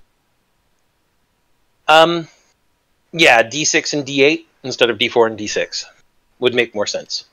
and D8, which also means that I, I'm guessing that for the epic the epic feat that should be bumped up to D8 and D10. Yeah, because that would imply that you've got um, the focus feat, which allows you to charge up faster and throw it out harder, Uh, or the, the focus armor skill. All right. although, given given how we changed power attack, how would that affect one of the one of the champion feats? Is one battle per day you can use power attack twice. Um, I would say that with the uh, with the champion feat, one battle per day, you can apply power attack damage twice. So you, you declare power attack, and you're saying I'm using. Essentially, this would be the true charge attack because it applies even more damage than a normal charge attack. And, And, so you you declare I'm using true power attack, true charge, whatever we're gonna we're gonna call it. Um, and so it would apply the additional D10. You'd get two D10 applied instead of one. And as far as far as the adventurer feat, I don't think we need to change that. Correct. Yeah, that that feat that's feat that feat's fine. Next talent. So the next talent for Great Sword. Uh, so this is the thing about some of the weapons being really uh, simple. Great Sword essentially only has those out of the talents that I could find. Some some weapons have a lot more talents than others because of all of the mechanics behind them in the game. Um, if you want to suggest other things to add at this point, that's that's where I really wanted your help with all of this. Yeah, with with some of them, I'm with some of them, I might have to I have to go through my expanded list and and and handle that myself. And I'm not going to do that on this show because that's that is a long term project. Yeah, that's like that's like a few days. hmm But with what we have in core, this is what I could find that said this is Greatsword. Yeah. This is what Greatsword is about. Um, when it came to when it came to maneuvers or maneuver or maneuver equivalents for non-fighter classes, were there any that stuck out to you for Greatsword?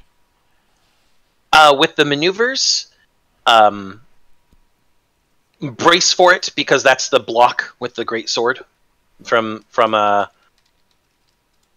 from like half of half of the blo- half of the maneuvers in the fighter pool could all apply. Uh, bra- brace for it, carve an opening, uh, heavy blows. Um, let me see. Uh, hack and slash would also work because again of the of the way that how wide the swings for great sword are. Um, punish them. These these are a lot of these maneuvers apply to numerous weapons, and as as such, uh, it's a uh, it's hard to say this is just Great Sword's big thing. But the, these When these maneuvers just in fighter. Um, when it came to maneuvers, did you write a universal list, or did you um did you write separate lists for um weapons? I I didn't take uh, I didn't I didn't really have the time to drill down into maneuvers. This is this is more. Uh, I'm I'm slightly winging it at this point. I I gotcha. Um, I think when it co- I think when it comes to maneuvers, that's something I, that's something I'll try and handle on my own. Okay. Um, talents is what I want to fo- is what I want to focus on for the purposes of this. Um, And, And that's I- what I focused on. and I, well. I will note that if that if I was able to commission somebody to do it, I would probably set up a custom a custom character sheet that ha- that where um there's a, there's an entire page dedicated to um set to separate loadouts like ha- like having Mhm. three columns set up with three different loadouts. I.e., here's here's the weapon style, here's the weapon that you're using, here's its weapon effects, and here's the talents and feats that are that you're using with that one so that it's so that it's easy for people to um, mix and mix and match what they want to what they want to and not yeah. um not fall not fall into the trap of using of using just one, just one type. Um, let's let's go full weeb longsword. Longsword again starts with whirlwind, um, and you're going to find that half of the weapons have whirlwind. Half of all the 14 weapons have a whirlwind. Um, especially longsword. Longswords are actually longer than most great swords, and their primary mode of attack, the spirit combo, ends in a giant round slash. It's it's outright whirlwind. Okay, but let's address the um before we get into the other towns, let's address the elephant in the room when it comes to when it comes to something like longsword. the spirit How- gauge. Yes. How are we, how would you handle the spirit gauge? Okay, so this is getting a little ahead of myself. Um, when it came to weapons that have a charging gauge mechanic, those are five weapons: dual blades, longsword, switch axe, charge blade, and insect glaive. Of the of the five of these, four of these all charge when you're hitting the enemy. So, the way I dealt with things like the spirit uh, gauge is rogue's momentum. Because momentum builds as you hit or get hit and allows you to do specific maneuvers. Um, as as a as an addendum to that, all five of these weapons also have modes where you spend that gauge as part of the mode. And so the uh, the pair with that momentum is then swashbuckle. Um, so momentum is dual is is longsword building up um, the spirit gauge with its hits against the enemy. Swashbuckle is the spirit combo that allows them to increase the uh, level of their sword, or the spirit helm splitter, which allows them to launch themselves into the air and come down with a really hard chop. Things of that nature. That is how I dealt with the gauges for these five weapons. Yeah. So let's see. With with momentum, it's a case of you gain momentum by hitting with an attack. You lose when you are hit. The Mhm. default is that you can use momentum powers without losing momentum. Um, Except for in the case of Swashbuckle, which requires you to spend momentum to use it. mhm. Which is exactly that. When I saw those two, and I saw exactly how they work together, I was I was outright along the line of that's these five weapons entirely. That's their core mechanics entirely. Now, when it comes to the when it comes to the whole momentum powers thing, that's something I'd have to handle on my own, and I'm not even and I and it's something that I'd probably sim- I'd probably greatly simplify instead of instead of having those those um those charge based ones have their own list of momentum powers because we want to use it. We want to have everything fall under the cate- under the category of maneuvers. I would pro- I would probably ha- I would probably have it that mo- that momentum is used so is used solely for um for charges. Mhm. Um, one of the potential ways you could use it is to cheat um, flexible attacks, i.e., your die your die result counts un- counts under a given flexible attack, even if it did even if it didn't. Mhm. So if you rolled a seven and you need a nat and you need a natural twenty for a for a certain flexible attack, it counts, but you're not getting a critical. Yeah. Um, and I, I can probably I can probably put that in the other. So longsword is long, longsword is one. Mhm. What were the, what were the other ones you said you were giving uh, momentum to? Dual blades, because going into demon mode builds up the archdemon gauge. An archdemon gives you a new set of maneuvers and attacks to use. Mhm. Now, uh, the reason I include switch axe in here is because even though you don't build the switch axe gauge by hitting things and it builds on its own, it still has a gauge you're spending when you're in sword mode. Um, so Not like- to mention that when you hit things while in sword mode, you build the amp gauge. The way I was thinking of simplifying this is any any hit builds the amp gauge, and then you can do the amped attacks that the switch axe has. That that was my thought. Was that was how you would how you deal with with the the momentum in there because the automatically tracking gauge and the gauge going down in sword mode uh, isn't it, it's it's too it's it's too much tracking for what we're trying to go for. Mhm. So my my thing is it, you can switch between axe mode and sword mode willy nilly freely. That's that's fluff. That's flavor. Um, what happens is when you build up your momentum, you eventually hit amped mode, and you get the, all these extra goodies you can play around with. Which is essentially what we're doing by giving a uh, uni- uh, a simplified maneuver list from momentum in the first place, anyway. And then what I was specifically thinking of swashbuckle being is the what's called the zero sum element discharge for switch axe, and we'll get into that when we get to the switch axe.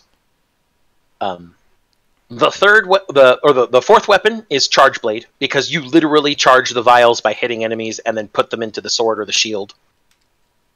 And then I was just thinking again, d- instead of oh I'm putting it in the sword or the shield, it's oh I've charged the charge blade. Now it has a charged shield, and that's part of uh, again that's go- that's going to build into its momentum based uh, additional talents and such. Mhm. And then insect glaive, because with insect glaive you use the kinsect c- to hit a monster, collect an essence, and give yourself additional powers. And again, maneuver list and swashbuckle for things like pole vaulting with the insect glaive. So let me. So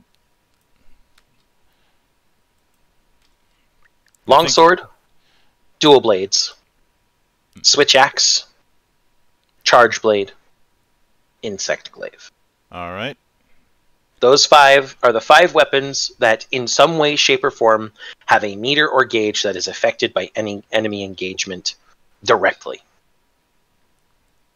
And so I've I've finagled a few things, and I'll discuss those in more length when we get to the other weapons. Yeah. Now, But for long for longsword, this enables your your extra damage spirit combo, or or you know your your helm splitter, which is all going to be, you know, stuff that you'd probably define with swashbuckle. Yep. And then some additional maneuvers that you'll come up with independently. Mhm. All right. now, So- so now um, we're the we're so for getting back to longsword, were um momentum and swashbuckle the only and whirlwind the only talents you could think of for that would No, no. else? There's there's there's. Uh, let me look here. One more. And it's a defining trait of the longsword now, and has been since World. Counterattack from uh, fighter class talents let me get back up to fighter and talents. Okay, count counter attack. Um, hang on. Okay. Excuse me. See, once per round, when the escalation die is even and an enemy misses you with a natural odd melee attack roll, you can make a basic melee attack dealing half damage against that enemy as a free action. Um, do you do you intend on keeping counterattack in the in the same way, or are or are you go are you going to are you going to So, um, so once per round makes sense. Mhm. Um, and we can finagle a little bit with this counterattack. Uh, Longsword has multiple counterattack stances it takes in the game. But again, that's all fluff in this case since we're using a, a Theater of the Mind tabletop or a Theater of the Mind combat style with this tabletop. Um, there can be a counterattack, and then there can be a spend momentum for this type of counterattack added to that because it does have a feature in the games where you can spend your spirit gauge to get a, a special type of counter. Um, and so with with it as is right now, I think that's fine for a normal counterattack because the normal counterattack uh, stances in the game are basically like that. Um, well, they're more they're more you wait for the enemy to almost hit you and then you swing and that's your counterattack. Yeah. Uh, but you know that again, mind's eye. Um, as for the feats, uh, having the adventure feat being that it deals full damage, perfectly fine.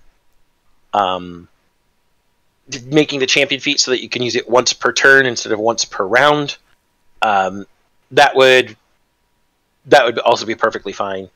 And then now you can use the counterattack when the escalation die is three plus. so you're telling me you're telling me you know most of the time, sure. Uh, all those feats are fine, but with the base with the base counterattack as is, um, the only thing I would say because I don't know if the addendum at the end there, this attack can't use any limited abilities or flexible attack maneuvers. Would that prevent the counterattack from also generating momentum, or would momentum still be generated nonetheless? I am I'm prob when it comes to when it comes to the when, I'm actually considering getting rid of that whole when it comes to the whole limited abilities the only things that could the flexible attack part I'm considering getting rid of that for the purposes of this the limited abilities part I'm considering keeping Okay. so And things so- like things like per, per battle or per day can't can't be used Yeah. Okay.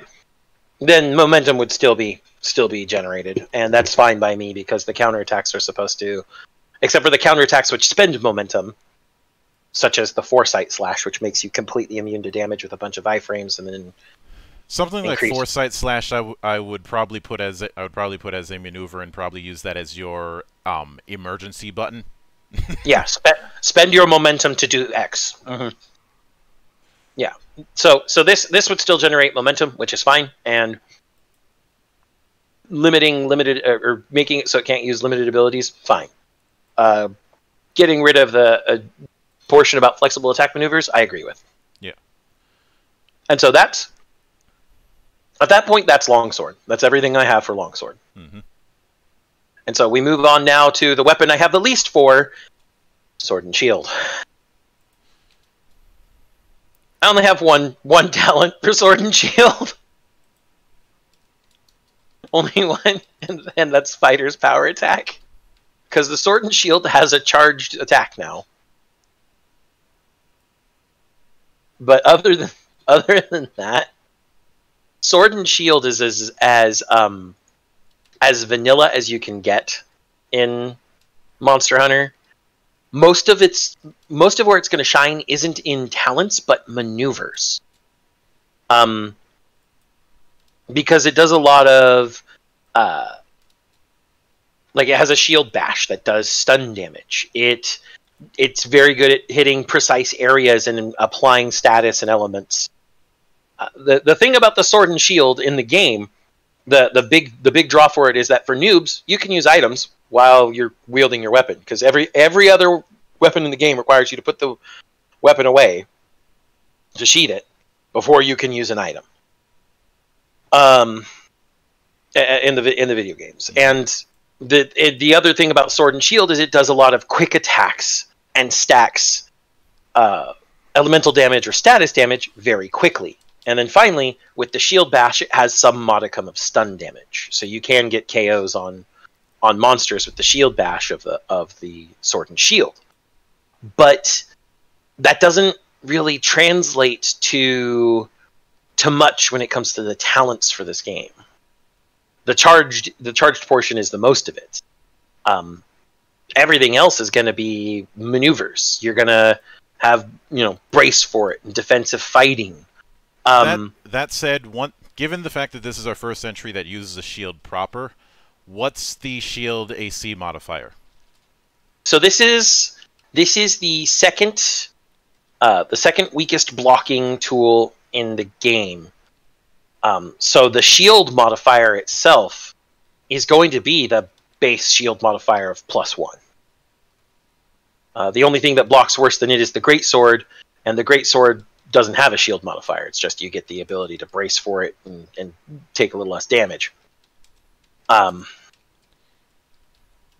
so it's it's going to have the, the plus one for the armor class, which means wearing heavy armor, it's going to be the 16 mm. uh, plus, uh, plus others.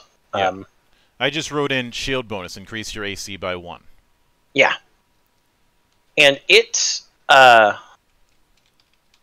its whole thing is it's is, is again with the man, it's gonna be the maneuver master. You can think of the sword and shield as almost as near to the actual fighter template as possible. Um, almost, and that's going to be that's going to be the the, the way it, it, deals with things. It, I think that if we were going to give it something special, it has access to all fighter maneuvers instead of having some that just wouldn't apply because of you know everything else. Mm-hmm. The only other thing that's not going to apply to it is second shot. That maneuver is only for ranged weapons. Yeah. And so, like, that's but every every other maneuver here uh, is going to be useful. Um, two weapon pressure can even apply technically because uh, the sword and shield in in Monster Hunter is very much two weapons, not just a weapon and a shield. Your shield is an active weapon in in your combos you hit with it as much as you do your sword. Yeah, some something else that I something else that I should note that I'm put that I that I'm gonna be putting in, and I'm I'm skipping I'm I'm not covering it I'm not covering it here because uh, because I don't because it's not going to apply. But I but you know how there's the melee and ranged attack entry for each class.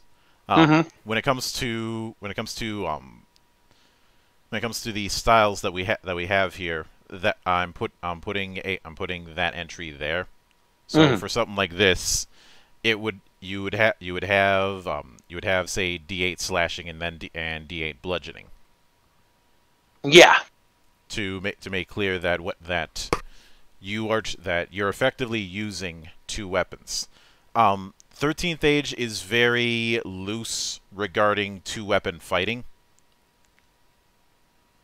So if you define the shield in your offhand as also being a bashing weapon that you're using at the same time, yeah, you're both using a shield and two weapon fighting. Um, it's for the same reason that instead of putting a bunch of special rules for um, weapons with reach, they just put the reach tricks feat. And the reach the reach tricks feat is going to be a super useful universal feat for uh, the lances, switch axe, anything that has an axe mode. It, you get insane amounts of range with them. yeah. So, since it sounds like um, power attack is the only talent that Sword and Shield is going to have, we can move on to dual blades. Now we already you already mentioned moment you already mentioned momentum and swashbuckler. Yes. Um, dual blades is going to be uh, interesting in that its first talent outside of momentum and swashbuckling is going to be in barbarian and it's going to be violence. And the reason for violence is What tier is what tier is violence? Isn't that um champion tier. Yeah, it's champion tier. Um, now again, this is going to be. I'm I'm going to. Uh,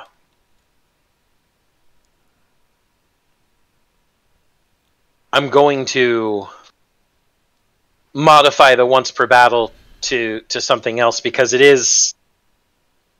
It this is essentially going to be tied to the fact that the dual blades does a, does this thing called the demon dance where it just does a bunch of slashes at once Mhm. so this was my this was my answer to the demon dance other than you know tying that also into momentum and swashbuckling but then you know we also have maneuvers that we can use with momentum that could help with this uh but the the violence the the violence here is in my opinion going to be um maybe once per round rather once than once per battle um because of the because of how because of how small the bonus is technically. yes and also because of the fact that um dual blades is a fast attacking weapon Yeah. Now, there's two there's two angles when it comes to the champion and, ep- and epic feats, and I think one one of them isn't one angle isn't going to be in the book, but for the two champion feats that I have in my unified list, one of them is if the attack still misses, deal half damage. The other is if the attack still misses, you can rage for free as a free action. Um, and I'm rage actually- isn't going to matter is it I'm actually curious if you if you had considered putting putting rage as a feature for dual blades. No. Um, while demon mode definitely sounds like a raging um, sort of feature, it's it's really not. Um, if you if you read how barbarian rage, the barbarian rage works, um, you use two d twenty for to hit, um, and use the higher roll. So basically, advantage from from five e. Advantage, but if both hit, it's a crit. Mm-hmm. Um, it, it it isn't the same as demon mode, uh, which is just uh, increased. It, demon mode is just an increased uh, increased uh, speed and attack um, count when it comes to how it works in the game. The only Your way I could the only way I could see I could see rage um working is one is once it's activated you uh, you always go first, but that is pushing things a bit. and that's why I that's again why I decided momentum and uh, momentum maneuvers and, and swashbuckle were all going to be a much better fit for how dual blades works. Especially the other the other problem with using something like rage is it's is the limited amount of uses. Where with, I think I think somebody I think a DS user, or rather a- rather a D, DB user, sorry, is go is going to be is going to be shifting out in and out of demon mode. They're not going to be using it continuously or using it in one large burst. Yeah, because it, it consumes your stamina as you're using it. hmm And So the, the champion feat I would go with is the one that's listed in core as deal half damage Yeah. even if the attack still misses. Um, now for the epic feats, there's two options we can go with. Either you increase the bonus to 1d6, or you increase the bonus to 1d8 against enemies that have hit you during this during this battle. Uh, the second feat would make more sense. Dual dual blades. Uh, dual blades doing more damage against something you've hit is is more uh, player reaction than a than a weapon reaction, because then the players get really angry and start doing dumb stuff with demon mode sometimes. But it does result in overall higher DPS. Not to mention there are some dual blades builds that uh that use the um the skill heroics a lot, which is when you're low on health, you deal a lot more damage. Um, but I, I think the the bonus increasing to one d8 if you've been dealt damage makes sense. Mhm. Um, simply because they're going to be doing that one d4 per round now rather than per battle. So if they've been hit by that target during the battle, um, you know, once per round, now they're getting an additional 1d8 bonus to their their damage because now they're hurt and now they don't like you. I should I should note that one one rule that I tend to I tend to have when it comes to action economy is you you can either do a full round action or two half rounders, and a standard attack counts as a half round. So you can attack twice in one in one tur- in one turn, but you can't Mhm. move. which is demon mode all over. When you go into demon mode and do demon dance, which is what I based violence off of, you're stationary. You can't move. Oh, all right. Um, so from there, uh, the next one I had, let me see here. Where do I have you, dual blades? From Ranger, double melee attack for obvious reasons. it's dual blades. It's dual blades. Why wouldn't it have double melee attack? Of course, the um, and give, given what given what I said, that makes double melee attack even more ridiculous.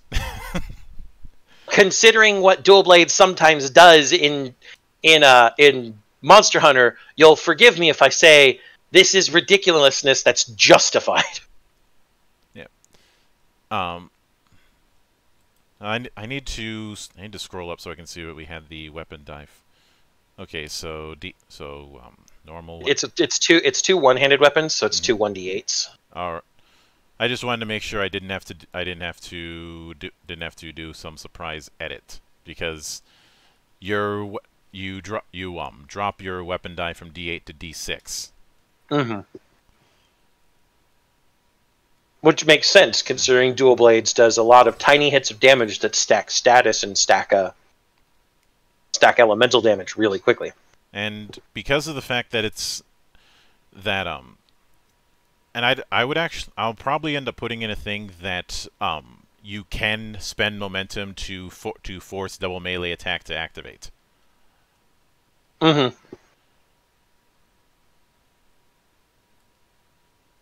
Now, when it comes to advent, when it comes to the feats, there's two routes we can take with each. The fir- for adventure, it's your second attack gains a plus two attack bonus if it's against the same target or a different target. I'm thinking same target in Same. this case. Same target. Um, for champion, it's once per battle you can use double melee attack on after an odd attack roll, or if you hit the tar if you hit the target with the first and the second attacks, it takes 10 ongoing damage, basically bleed. The bleed makes more sense in this case.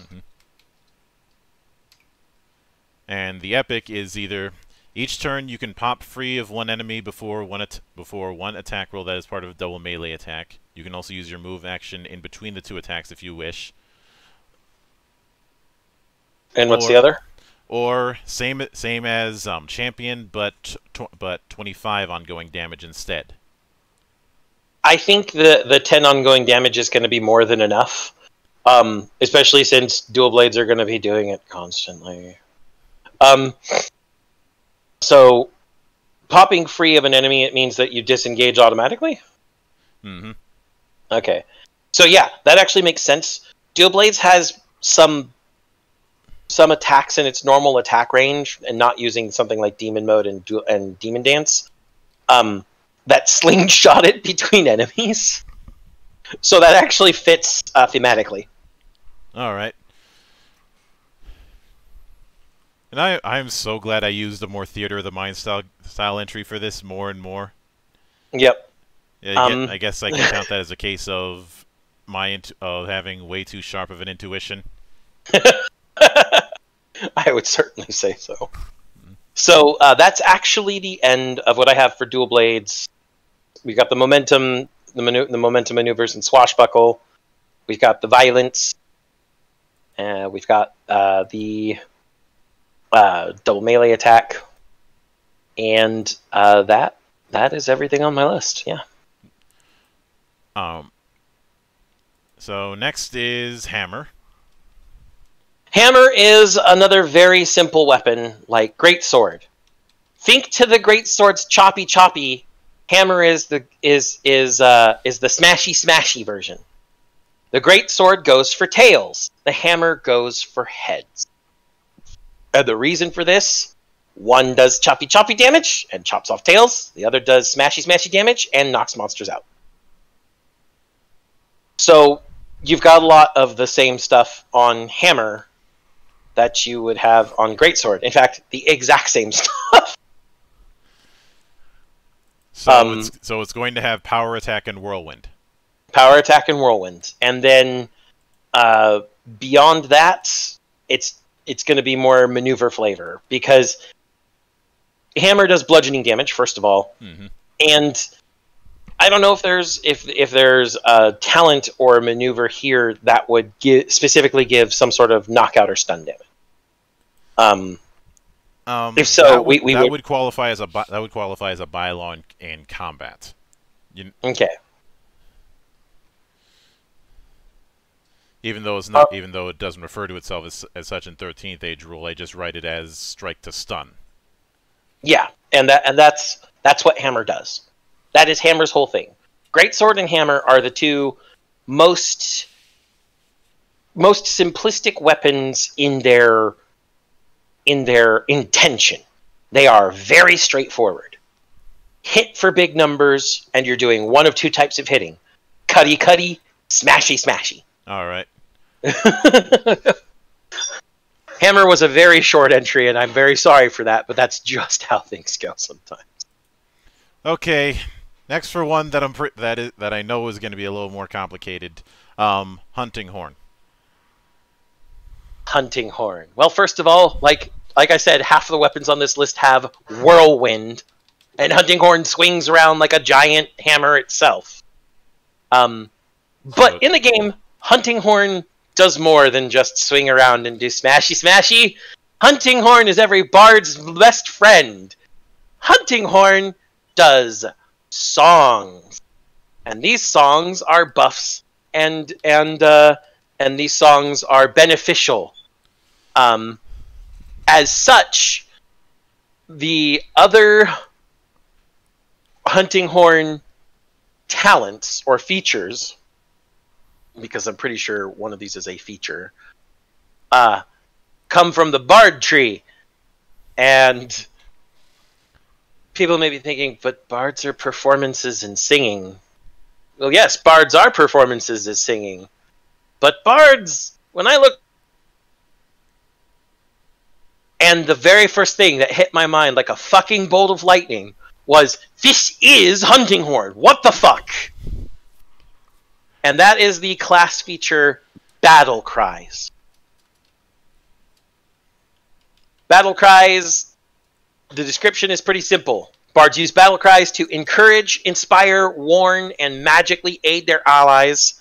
Battle cries are triggered by flexible melee attacks.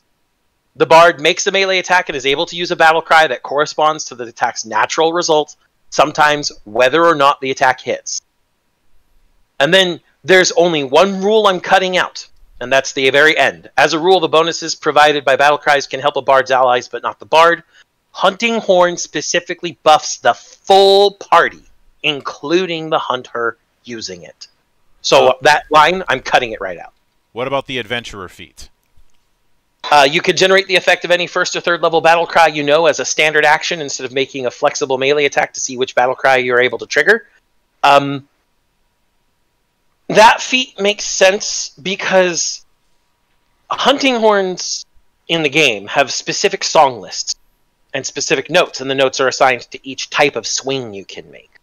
Having a little bit of more randomness, since this is a tabletop and we aren't going to assign a song list to every type of hunting horn that a that a uh, that someone can wield, is is because we're not going into that level of minutia.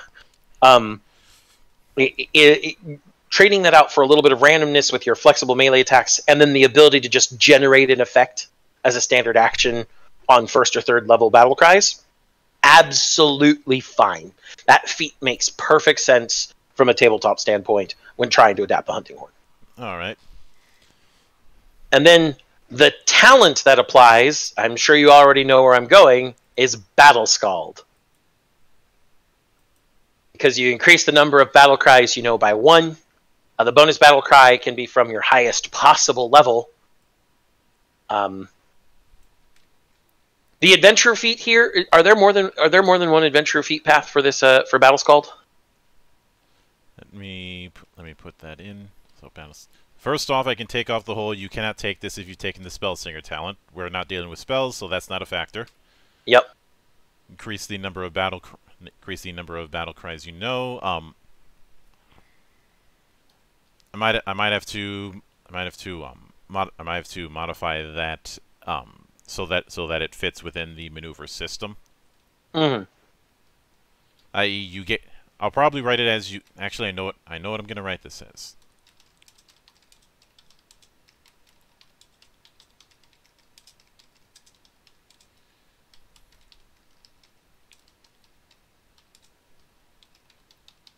You gain one extra maneuver with the battle cry subtype.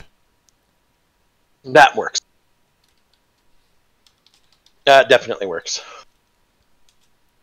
Can and it can can be from your highest possible level. Now, as far as the feats, I o- we only have one chain. So the first one is one battle per day. You can use battle cries to help yourself. Um, Doesn't apply. No, then then uh, the, the both the adventurer feat and champion feat mean nothing since we are removing the ability or removing the the restriction that battle cries do not work on the self. Yeah. um, and the the only one that the only one that would apply then is the epic feat. Reroll an attack that was meant to trigger a battle that was meant to trigger a battle cry but didn't. Yeah. Um, and since since the other two feats do have to go away, um, what I would actually suggest as a um, as a feat chain would just be increasing levels of that. Once per battle for the adventurer level, once per round for the champion level, and then once per turn at the epic level. Because mechanically in the actual video game, every swing of your weapon, whether it hits or misses the monster, generates a note. And then you can and then you can perform to actually pull out that that song. Um, so you're always guaranteed at the end of a chain of attacks to have a song ready, So whether those attacks hit or miss. adventurer is once per battle. Um, champion was once per what? round. And then the epic was once per turn.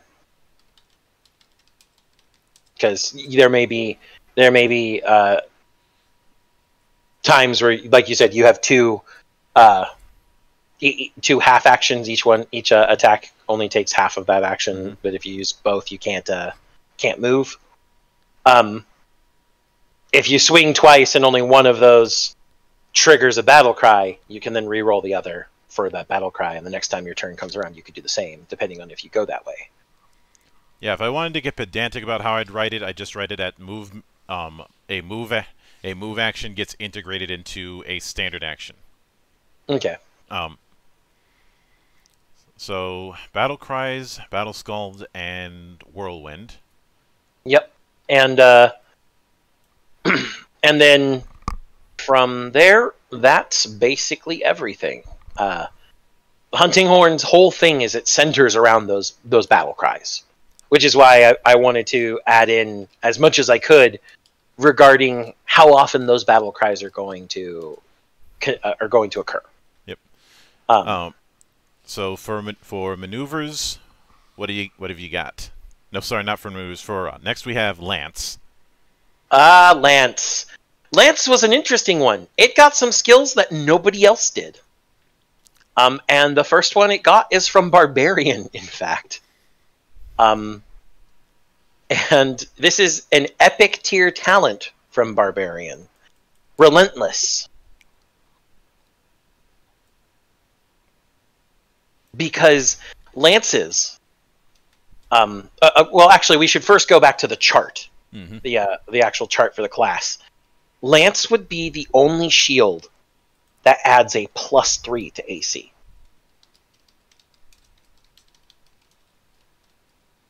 Because it's the most guardy of all of the guarding weapons in the game. And that's also why I chose Relentless. Uh, lances specifically in the game, Lance is is is a fairly it seems fairly straightforward. It's really not. Lance is actually really hard to play. Lances are a little less maneuverable because when you have the weapon out, um, you you do short hops as your disengages rather than full on rolls, but it's still a disengage. Mhm. Um, you can block, you can charge, like you can legitimately charge, and so that's a that's a maneuver it would have the uh, charging from one enemy to another. I forget the name of the maneuver right now.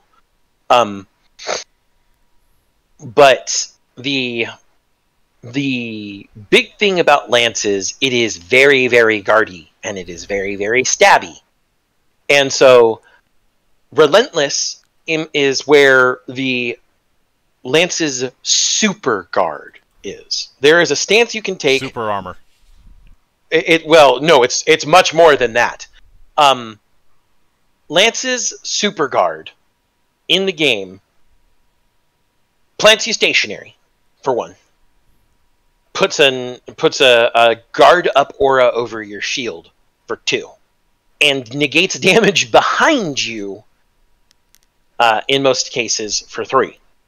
Additionally uh, it starts spending stamina and it, you take much much reduced damage with a proper build using the super guard on a lance and the guard up skill you can tank any of the of the supernovas of the elder dragons you can tank through them and still retain usually about half health so this this is why I said relentless was perfect for Lance. This is your super guard. This is you planting shield up. Everything behind you is gonna be fine, and everything in front of you is gonna do way less damage. I feel like this. I feel like what what immediately comes to mind is the good old Pike Square tactics that were solely designed to fuck up horses. Um, something like that. It, it's also the whole.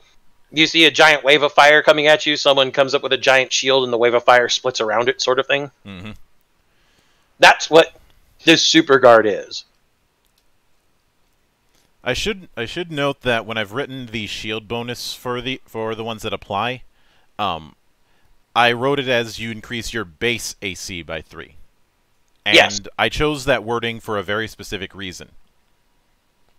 So th- so that uh, so in case somebody in case somebody wants to fuck around with touch attacks and um, flat-footed. Because if it was if it was just a situ- if it was just a pl- if it was just a situational modifier, then they'd they'd lose that bonus if they were flat-footed, which wouldn't make sense. Now, with relentless, obviously we have to remove the wild raging uh, requirement. As for the epic feat, is that the only one that's it, it- the one I see in core? Is that the only one in the in the entire feat chain? Hang on, let me. S- so instead, you have you have resist damage 12 plus, and as I should note that I, li- I like the I like the um, approach to damage resistance in 13th Age versus others, where it's a case of a static penalty. No, it's a case of if your if your opponent doesn't roll a natural 12 or higher in this case, they don't even hit you, or they or they hit you, but they don't they don't do damage. hmm Um, I have, I have two. There's two that there's. There's two that I have. One is even when not raging, whenever you score a critical hit, you gain resist damage 12 plus until the start of your next turn, or you increase the resistance to 14 plus. Increasing the resistance to 14 plus as the epic feat is the one that makes sense. Mhm. The other one um, might make sense in some contexts, like while you're poking. Uh, uh, there are certain there's a skill there's a there's a mechanic in sh- in the some of the larger shielded weapons called guard points, where during certain movements your shield is out anyway, and that actually counts as a better guard than just normally guarding because it's technically counted as a counter attack. Um, should Lance have an extra five foot reach? Um, no. Should, Lances are about as long as um, at the longest point, are about as long as a longsword. So, like longswords, when I say longswords are longer than great swords, I mean they are longer than great swords. The entire reason you wear the longsword diagonally across your back is because if you wore it straight up and down, you couldn't walk. It's taller than you. Yeah, I um, I I will not deny that I've made some Sephiroth jokes about the longsword. You're not the only one. I am. Sh- I would be disappointed if I was. So now let's get to his. Now let's get to his powder-based brother, the gun lance. Actually, we're not done with Lance yet. Oh,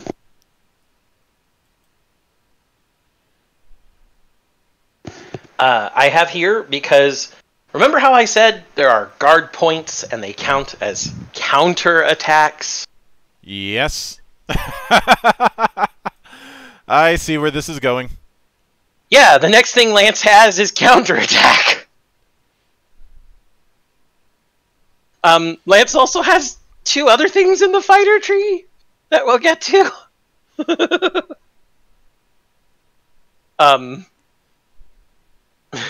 so uh, we've already covered counterattack, but yes, Lance actually has a skill where you block with the shield, and then after the shield blocks, you sweep with the lance. And that, uh, Not sure if that should qualify under whirlwind.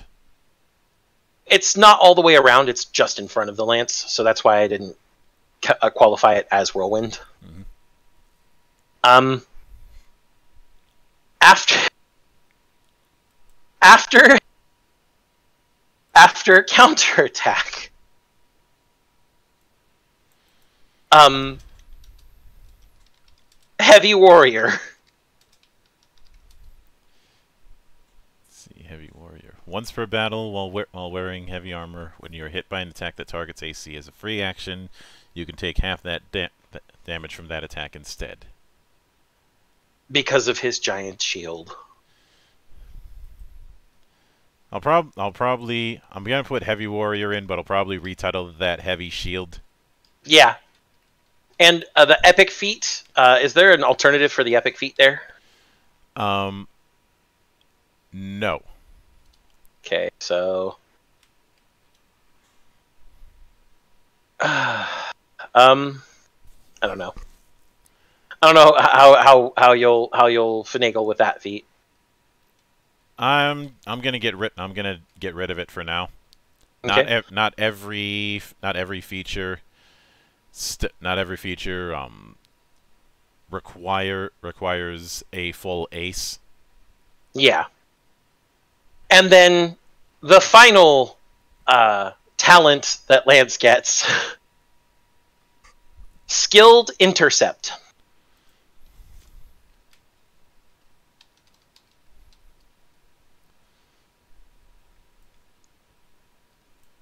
I was wondering how long it would take before this would show up. Skilled intercept is uh skilled intercept is going to show up a few times. I'm, I'm going to add. See, There's norm- more, more than just Lance. saves, who's moving to attack one of your nearby allies. You can pop free from one enemy and move to intercept the attack. I, I consider this the dash because the charge actually has your shield in front of you and um, in some cases can even deflect small attacks so this is this is lance going into his charge stance charging forward and getting in front of an ally essentially Mm-hmm. Let's see. Adventurer feat can pop free from two en- from two enemies. uh, is that the only one that, that's on the unified list Let's see. And I don't have I don't have any alternate chains, so yeah, we're looking at the same feat chain for skilled intercept.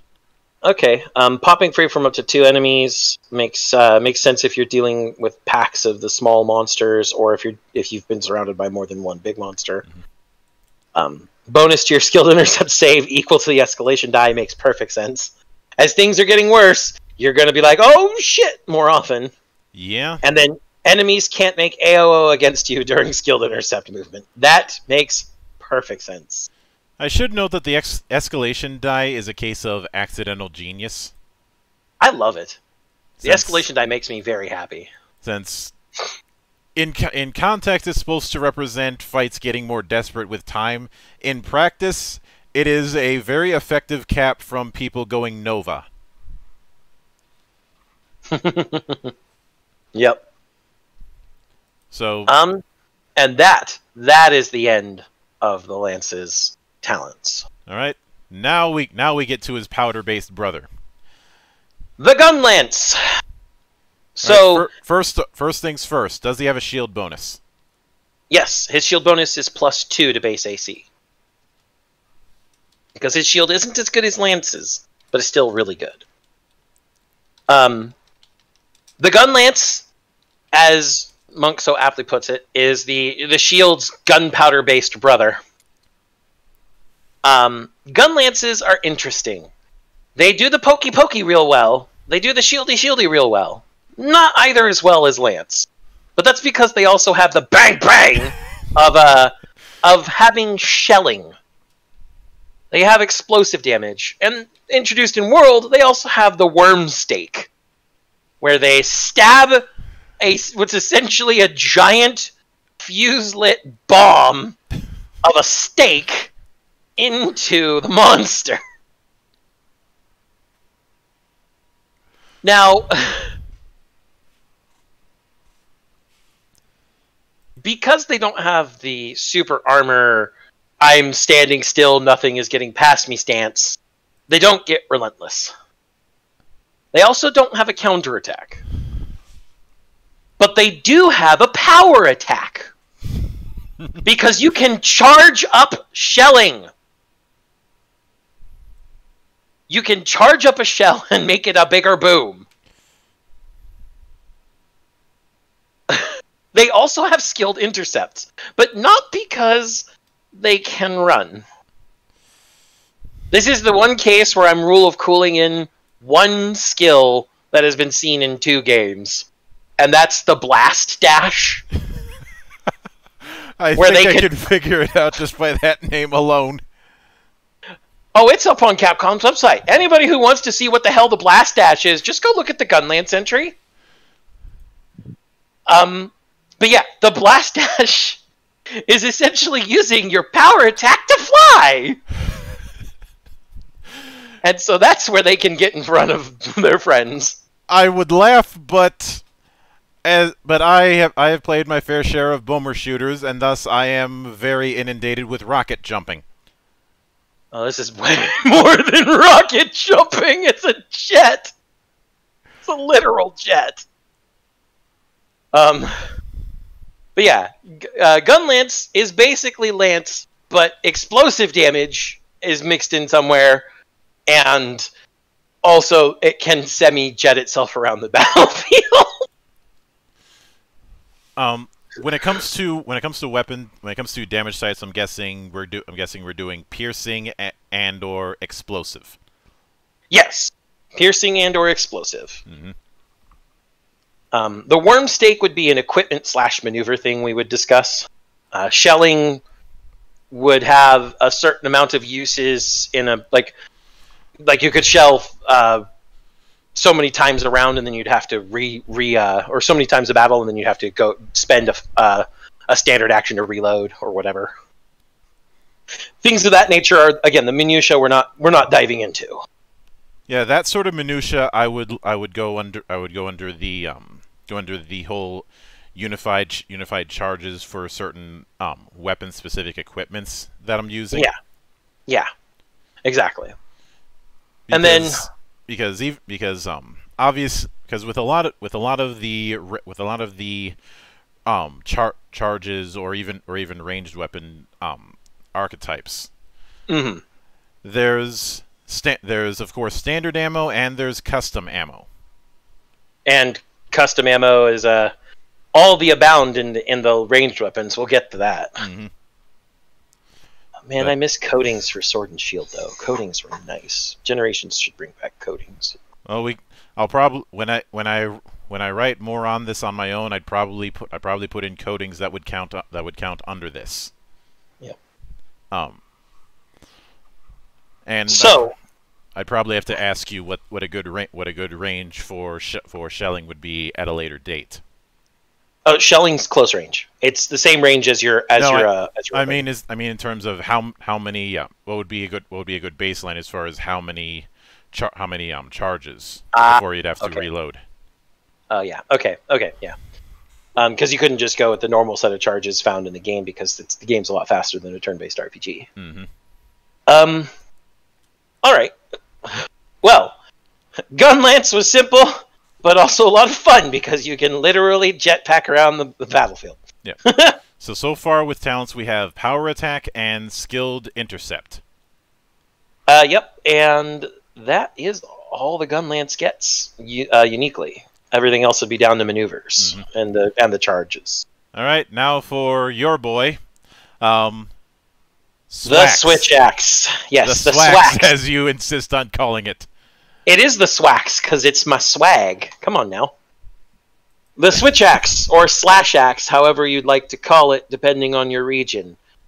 Um, first, I'm going to gush a little about the weapon because it's going to it's going to play into what was chosen and why.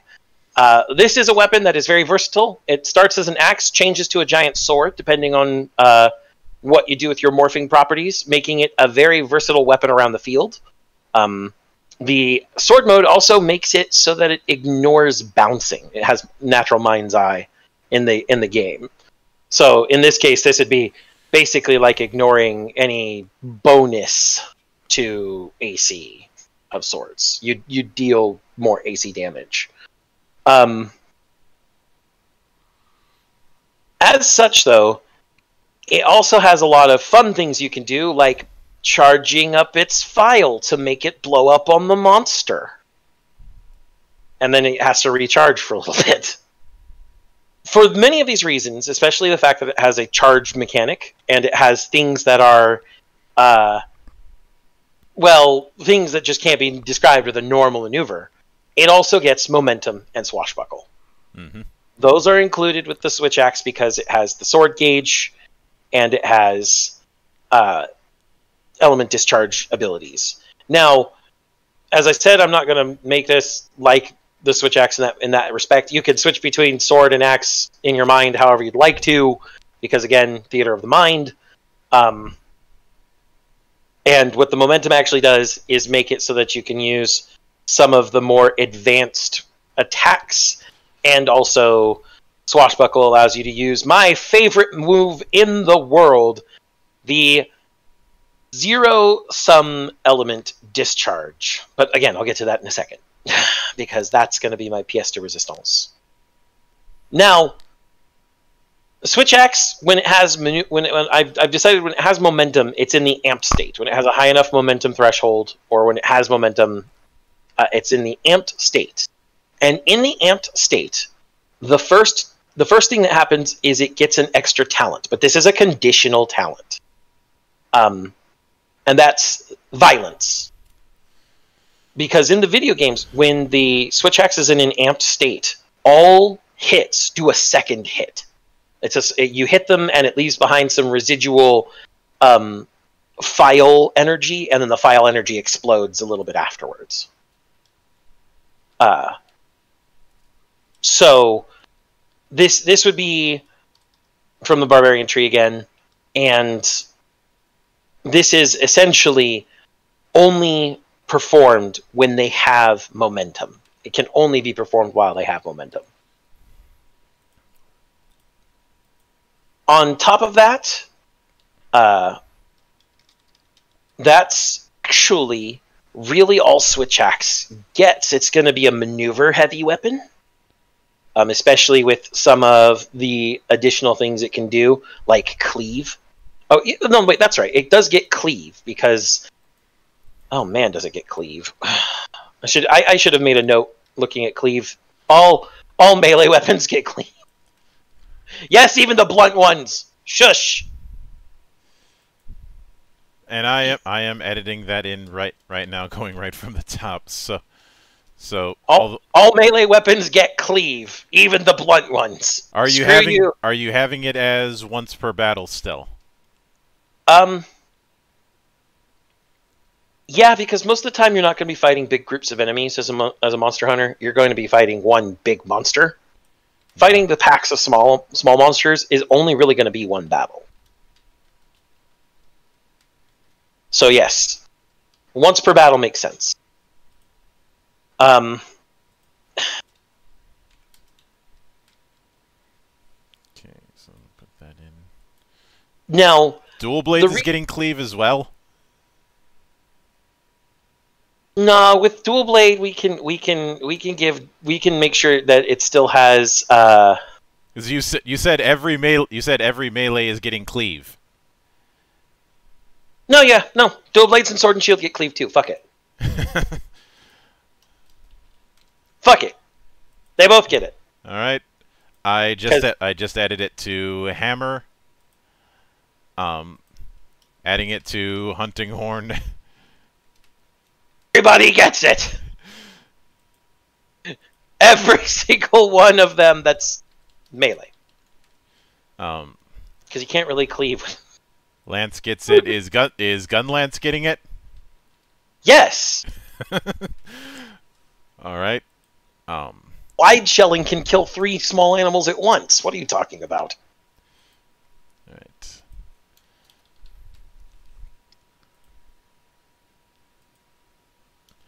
And I'm put I'm putting it I'm putting it in, in individual weapons in individually. Yeah. Um, because if I put it under the universal talents, then everybody would get then everybody would get it. It's only the melee weapons. Like I said, it wouldn't really make sense for light bowgun, heavy bowgun, and bow to have it. Yep. Now, to describe the zero sum element discharge and why swashbuckle is needed to do it. Zero sum element discharge in the game is your your axe is now in an amped state, and you switch to sword mode, and you go to do a normal element discharge. In it, normally, when the hunter goes to do a normal element discharge, he just stabs the sword out, starts charging the phial energy, and lets it all explode at once. Zero sum element discharge. The monster hunter grapples the enemy, stabs the sword into the monster, charges the element inside the monster, and explodes the element inside the monster. There is a reason swashbuckle is needed. I would also consider this a power attack, but I mean that it's swashbuckle, so I mean swashbuckle covers basically all of that. Yeah. But that is Switch Axe. now we go. Oh, that's right. Uh, Switch Axe also gets Whirlwind. I forgot about that. Let me put. Let me grab that. I forgot to look up at Whirlwind because I was like, eh. I'm talking about Switch Axe. Let me gush. Now, when it comes to when it comes to switch axe, um, are you ha- are you having a diff- are you having different damage calculation for the for the axe and sword mode or not? No. If anything, there'd be another uh, in in encounter bylaw for sword mode um, doing higher AC damage, and that's really it. Or doing more AC damage, or something along those lines. Um, given the idea of the i- think I think igno- I think ignoring I think ignoring AC is a little bit too powerful. That's why I didn't say ignoring AC, just doing a little more AC damage. Um, problem is there isn't really the there isn't really a concept of AC damage in this in these kind of games. Um, Some of the feats were mentioning if things were ta- were targeting your AC. um, keep in mind that P- PD and MD is physical and mental defense, basically Yeah. the streamlined version of the um of the def- of the defenses at, of the saving throws as defenses that was in 4E. Yeah. Um, the I'd say the I'd say the best approach is that there is there is there is in one of the modes their AC is X um amount lower than it than normal. Yeah. Um, and we can and we can discuss a maneuver to change from axe mode to sword mode. That would be a that would be a half action. That wouldn't be a full round standard action. Um, The only That, uh, that's some that's something that is going to qualify under minutia. It's going to be beyond the scope of the, of this. of this discussion, yeah. The re- the reason I the reason I'd I I'd want to bring it up is I I'd want to make sure that there's that that when it comes to the mode switching weapons, there is some kind of trade off. Yes, yes. Um, I would. Okay, so the trade-off would be axe is able to use um, reach tricks. Sword is not. The axe is longer than the sword in all in all situations with a with um with switch axe. So you have reach tricks, but not um, lower the AC. The target counts as having a slightly lower AC in axe mode, and then you have no reach tricks, but the target acts as if it has a slightly lower AC in sword mode. Mhm. That's your trade-off. Reach tricks versus reduced uh, reduced target AC. All right. Any other t- any other talents for for switch axe or is that it? That's all she wrote. So now we go on to another sword and shield, the Charge Blade. The Charge Blade is interesting. People are like, but that's just a sword and shield, except you're wearing the shield on the wrong arm now. Um, but no, I'm joking. You're, wearing the shield on on the on a different arm. The way the Charge Blade works is you attack in, in the sword and shield mode to build up your phials, and then in and then once your phials are built up, you morph to axe mode to attack with the phial energy. Uh, the charge blade is actually an axe, mostly. That's why it's called the charge axe in in Japan. And it all works by combining the sword into the shield and then morphing out into an axe, and it's actually really cool. Uh, I've simplified things a bit. There still is the mode switch, but the mode switch is directly related to uh, directly related to how you're fighting, and then there are extra maneuvers for the axe mode while it while you have momentum, because that's your phials. Mhm. There's one extra talent that occurs outside of axe mode, um, and we'll get to that. So uh, first, Charge Blade also has Whirlwind. Because Oh. in Axe mode, it swings around like a lot, and even the sword has a giant round slash. All right. We already put in momentum and swashbuckle. Yep, because that's a, that's our those are our charge mechanics. I I I think that that was a masterstroke of genius when I saw that because momentum and swashbuckle are freeform enough that you can use them for our for our phial and charge mechanics with these weapons. On top of that, when you have momentum, Charge Blade has counterattack in sword and shield mode. The shield um, acts as a guard point, and I can't I can't really get the, the actual mechanic across because usually the guard points are only while morphing from axe to sword or sword to axe. But I decided just in shield mode you have counterattack while you have momentum. Um, because the shield lets off energy when an when an enemy hits it during a guard point and it's charged. So when you have momentum, you have the counterattack talent in sh- in sword and shield mode. Um, whereas in axe mode, you have all of the extra moment, uh, a a lot of the extra momentum maneuvers, and you have the swashbuckle to do the amped element, uh, its own version of the amped element discharge. Would you have it that that while you have momentum, that's when you that's when you're using the um the sword mode? No, because sword mode is what's required to charge momentum. Um, you can't Sorry, gain not, file. not sword, axe. Um, I would say that that's when you would get the ability to morph. Yes, it once you have momentum, you can morph into axe mode and use the axe as much as you want. I'm probably gonna list that as a free action. Yes, definitely.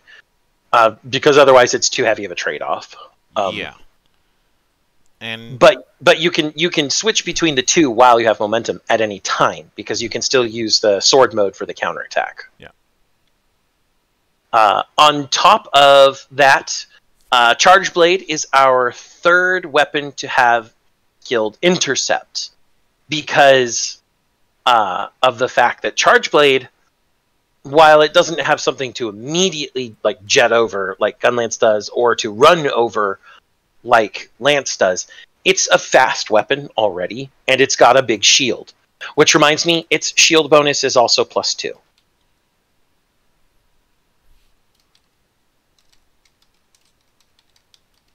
Because Gunlance and Charge Blade have the same shield uh, shield bonus uh, in game, at least as far as I'm aware. Alright. That may have changed, and I may not be aware of that. um, are you gonna have it that it's that that the um that the shield bonus is mode specific or not? Yes, it is mode specific. If you don't have a shield, uh, if you're in axe mode, you don't have a shield anymore. That's the axe head. Your your shield is the axe head. so again, your your trade off is more damage and more maneuverability for less defensibility. It's, you lose your counterattack. You lose your shield bonus when you go to axe mode. And that's uh, everything that the charge blade has. hmm Charge blade uh, is a fun weapon too. I actually like playing it from time to time. Finally, we get to what has strangely become somewhat of a red-headed stepchild amongst the melee weapons: uh, the insect glaive. Some people love it, some people hate it. I've never seen an in between. So, a little bit about the insect glaive. It is an aerial weapon for the most part. It does jumping and vaulting and fun shenanigans like that. And initially, this was because the game it was introduced in for uh, had introduced the mounting mechanic, and you got mount damage by hitting with aerial attacks. So the mount master was the insect glaive. Um, however, it's it's kind of lost that niche there's a lot of aerial options, especially in Rise now with uh with the wire bugs. And even when there wasn't, there was a lot of vert- vertical movement with World because of the way the, the world was now being rebuilt and reshaped since the zones were no longer that specific.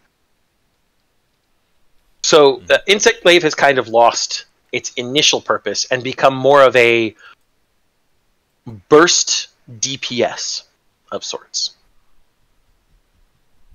And with that, Insect Glaive is the last weapon we have that gets Whirlwind. It's a Alright. long staff with a big blade on the end, and you swing it around yourself a lot.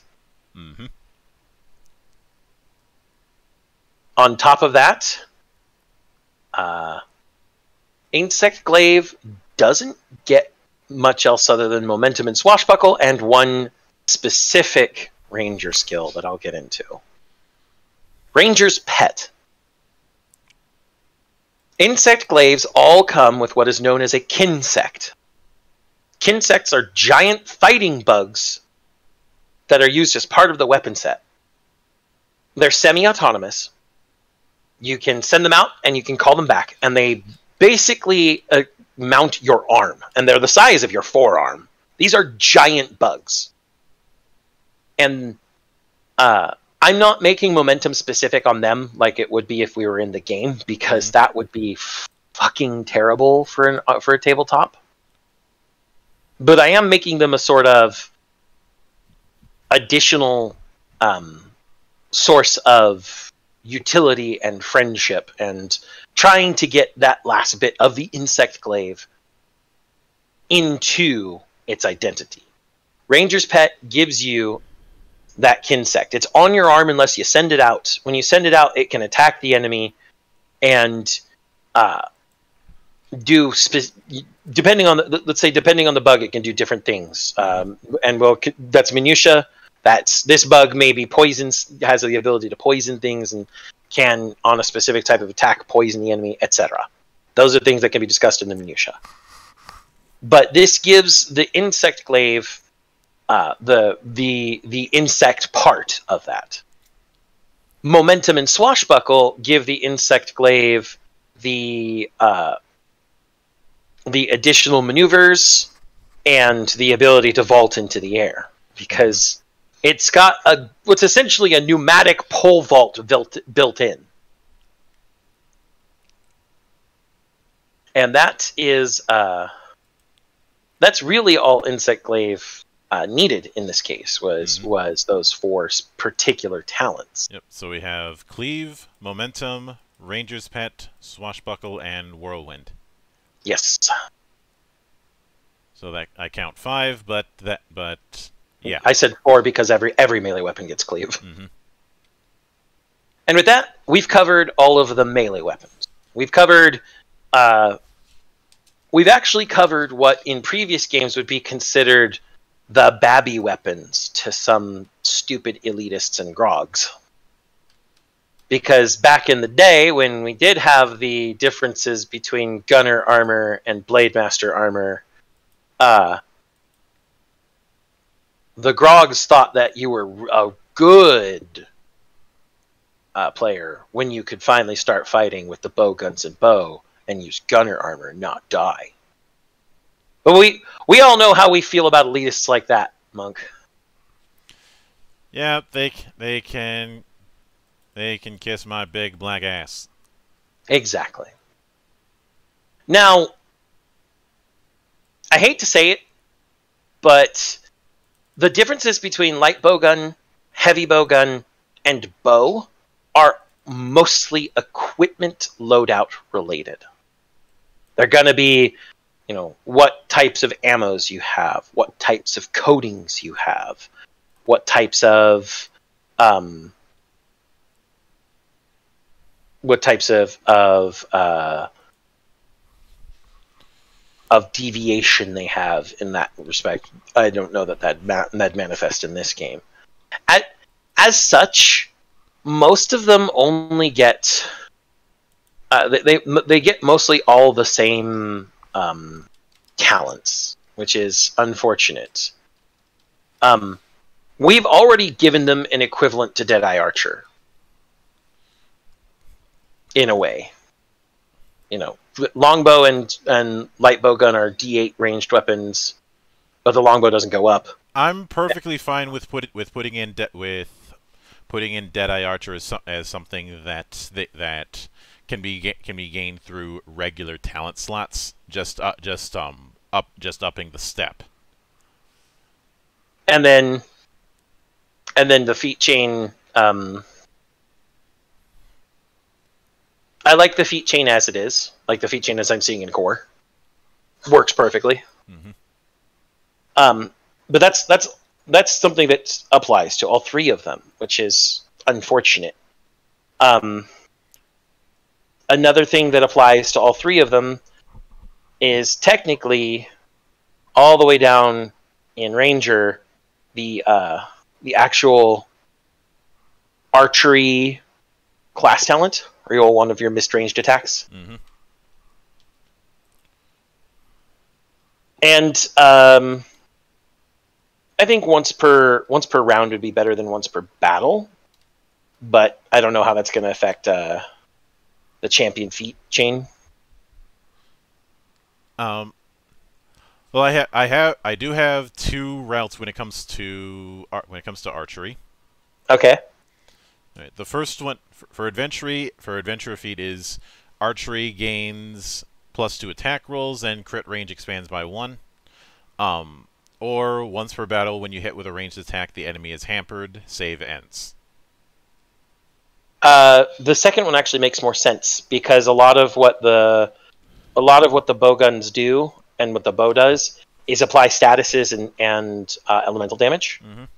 and so a hamper could be seen as as playing into that status application. All right. Um, champion. Um, once per day, you can use archery twice in the same battle. Um, or your ranged attacks gain a plus two bonus to hit against dazed, weakened, hampered, stunned, and stuck opponents. Uh, the second one again makes more sense, All right. Especially again, especially considering how equipment based these are these weapons are going to be. Mhm. And third, once per day you can turn a normal hit with a with a ranged attack into a critical, or you regain all once per battle effects of this talent after you rally. Um, Uh, rally is 13th Age's version of Second Wind. Yeah, I, w- I would say uh, it'd be the first one in this case, where you can once per day you can turn the normal hit with a ra- ranger ranged attack into a critical hit. hmm Um, because that reminds me of uh, the Wyvern Fire mines for the light bow gun, or the cluster bombs, or Wyvern Fire cannon for the heavy bow gun, or even the Dragon Piercer for the bow. Um, I would I would say that um, there is one thing one of these three weapons gets that none of the others do. And it's only been introduced with its newest incarnation. Heavy bowgun in Monster Hunter Rise can charge up its shots. So heavy bowgun gets power attack.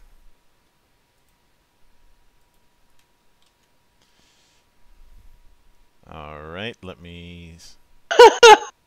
I, I actually watched my buddy using a heavy bow gun in Rise when he was streaming it on Discord. the ridiculous amounts of damage you do with a heavy bow gun are just so dumb. Oh my god, it is so dumb. Um, I do feel I do feel like when it comes to the bow guns, they um, they are they are re- they are very much on the on the end of repeat damage. Basically, basically you're firing until you have to until you have to reload. Whereas, bo- whereas bows, you're just you're just drawing individual arrows, or sometimes clusters of arrows. Yeah, and and uh, bows have the ability to charge their shots, but I didn't. I didn't see any way because the, the way bows charge their shots is different than other weapons that charge their attack. Even heavy bow guns is more about uh, doing the the additional burst damage, like the great sword or the hammer or the anything else like that what when bow charges its shots, it, it gets further a, a longer uh, a, attack range, so that it, you aren't out of effective attack range, and a higher crit percentage. So it's it's a little different with bow. Uh, additionally, charging allows you know charging does allow just for more damage, but you you tend to do multiple hits with each shot after the first. The first one tends to shoot one, then two, then like three. Something that I'm considering Mhm. when it comes to heavy bowgun is maybe it's just me, but I've always seen heavy bowgun as the ra- as the ranged style that would most li- that would most likely benefit or at least make sense to utilize some form of Overwatch. Um, I guess. Um, but the, the the big thing about the bow guns and the and the bows in the game, even though they're ranged weaponry, they still have to stay pretty close to a monster to do effective damage. Um, Which- it's not.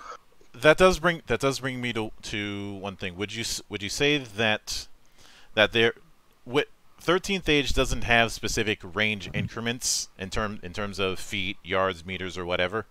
Mhm. it it listed off as um, engaged, clo- clo- um, close, near, and far. I believe. Let me um, let me double check to, so I'm not talking out of my ass. Okay. So let me see here. Okay, I was slightly wrong. There are only three. Um, there are only three distances. Engaged, you're in direct melee combat. Nearby, um, one move away, and far away, more than one move away. Um, in that respect, uh, if if that's how it's staggered, that's actually pretty easy. Obviously, all melee weapons are going to be engaged and engaged only, with with exceptions being you know the reach tricks that you can do. But I'm, Um, think, I'm thinking bowguns are bowguns are nearby and um, bows are far away. Uh, actually, it's the other way around. Light bowgun and bow would be near. Heavy bowgun would be far. Heavy bowguns have the have the furthest effective range.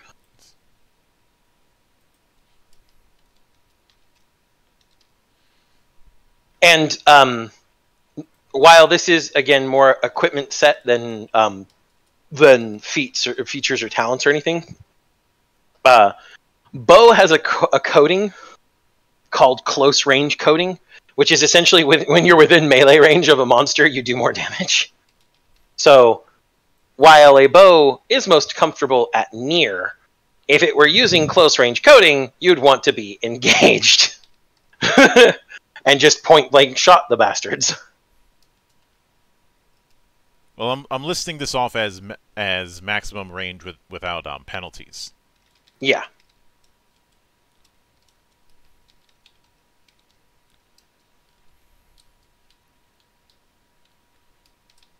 So if somebody was to, if you were to use far away while firing a bow, that would be a minus two.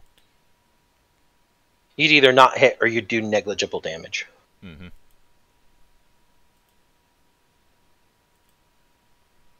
So, okay, I got that in. it, it it's the really unfortunate nature of the ranged weapons that they they tend to overlap in certain areas.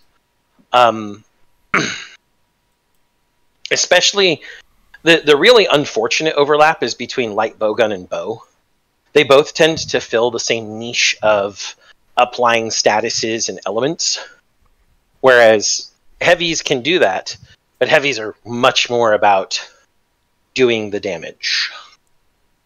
They're the big burst damage of the, of the ranged weapons. when it comes to the trinity of um, when it comes to the whole um, sc- um, scatter, pierce, and rapid, I get the feeling those would count under specific maneuvers for the bow. Yeah, yeah. Um, and of course, y- scatter, pierce, and rapid and normal for the ammo types of the of the bow guns as well. Although, given that, given that, because what I'm looking at it on on the notes, it's it says that to access those shots, the weapon has to be charged. So, should that should that count under um under the bow having having um um momentum? Um, momentum or a power attack? No, I would say that it would just have you'd have to prepare.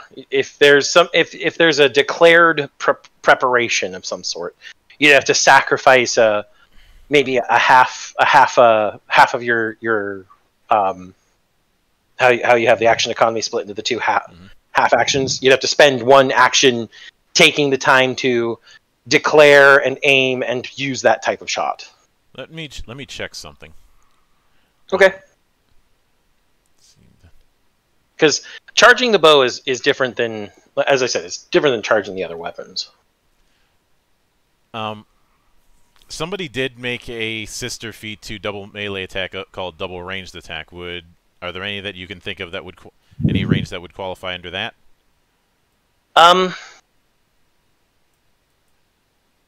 light bowgun it tends to ha- it tends to shoot pretty quickly maybe double ranged attack could apply to light bowgun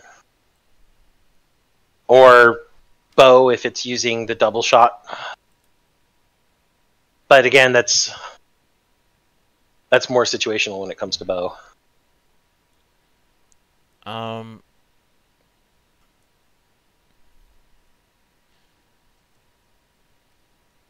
Like I'm look I'm looking I'm looking at a good chunk of them and a, a lot of them are a lot of them would qualify would qualify under um things that I think because with all the talents that we put in these are talents that are going to be innate that are going to be innate. That's Mhm. not put that's putting aside talents that they're going to be getting through the uh, talent slots at character creation, and that that does mean that they're getting more t- that they're starting out with more talents than a normal 13th age character. But this is the way it had to be done, in my opinion. Yes, that's that's absolutely true. I understand that concern. Um, but monster hunters, as uh, by and large, monster hunters are stronger than normal people to begin with.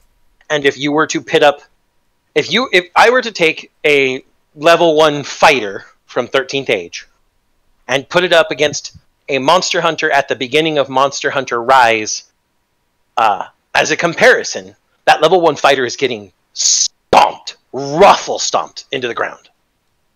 Uh, there's just no way that he'll that he'll compare to that beginning hunter, Mhm. and that's because of the nature of the beasts that the hunters fight.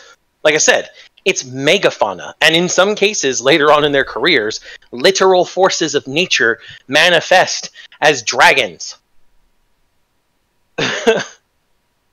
so, monster hunters are already larger than life in that respect.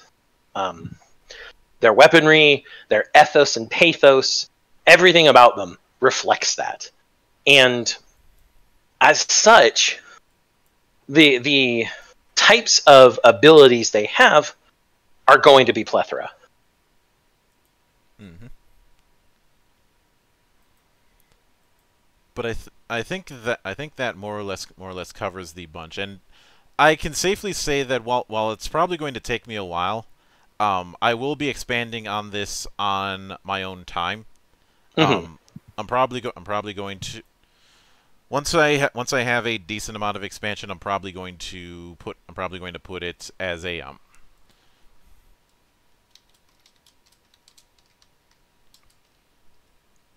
I'm probably going to put it as a as a um, shared document for the for the council Mhm. because there's a lot more there's a lot more classes, talents, and the like that I have in my personal archives that I didn't send to you. The reason Yeah. I the reason I kept it to just the core book and 13 True Ways was so not to overwhelm. Exactly. I think too much information would have likely uh, led to me having a little bit more, uh, as you pointed out, choice paranoia. hmm I would have looked at it and gone, "This could fit, but so could this." I even had that problem with a little bit, a few things, um, with just the core book. I was like, "Well, murderer applies to some of these things, right?" And then I thought about it. I'm like, "Eh, only peripherally." I, I and and then someone asked me when I was talking to some friends about it. Well, what about a rogue sneak attack damage? I'm like, "Do you really do sneak attack damage to monsters?" like I understand, yeah, doing a precision hit, and but that's a maneuver. We have precision strike for that. Mhm. Um, and it's not critical damage is covered by critical rolls, and it's just uh, there, there were a lot of things for me to consider that I had to continue tweaking and paring, and eventually I pared down to what we have here. Yeah. But th- I think that is g- that is going to do it for this particular experiment. This was definitely a fun one. I'll li- I'll likely do, I'll likely be doing this with something that's a that's a little bit less um, niche. Although even if even when I say that, I'm pretty sure I'm going to be scaring off a few a few people because because appar- apparently I intimidate people when it comes to game design. Much in the s- I guess it's much in the same way that apparently Worf is intimidated by Sisko. Too Um, much black for him to handle. Either either that or I don't know. When you've seen when you've seen someone punch a a extra dimensional god, are you, do you really want to fight that? Sure, I'd love to have a scrap with someone who des- who decides to defy the gods like I do. Um, and although to, although to be fair, Q had that coming for years. Yeah, I'm surprised that you know Riker never did it. To be honest, see But Riker do it. but with but um we will be we will be back next week. I am up, I have to apologize in advance for all the technological shenanigans. And just for the sake of it, let me see what's on what's on the schedule for next week. Something else I'm looking forward to. I already remember that. Okay, let's see. Oh, this next week will be fun. Next week will be fun. And exactly. Um, I can safely say that for for, ne- for next week, it would be very easy for me to for me to just for me to just dunk on this company for some of the obvious re- for some of the obvious reasons, but no. The reason why the you'll see you'll you'll all see next week, but I have I have had an attitude that just dunking on a company for wokeness or for politics is too easy when there are other problems that can that can that deserve just as much focus. But you'll see that next week. That said, tomorrow we've tomorrow I got something interesting because I will be interviewing um, the head of Dyskami Gaming, Mark MacKinnon. Because he's putting out Anime 5e, which has been absolutely killing it lately, and put, and put a put a bit of an announcement that I want to turn into a little event. But that is a story for another day. So until then, on behalf of the good brothers present and not present, my name is Mildra. I am your gaming monk, and join the watch.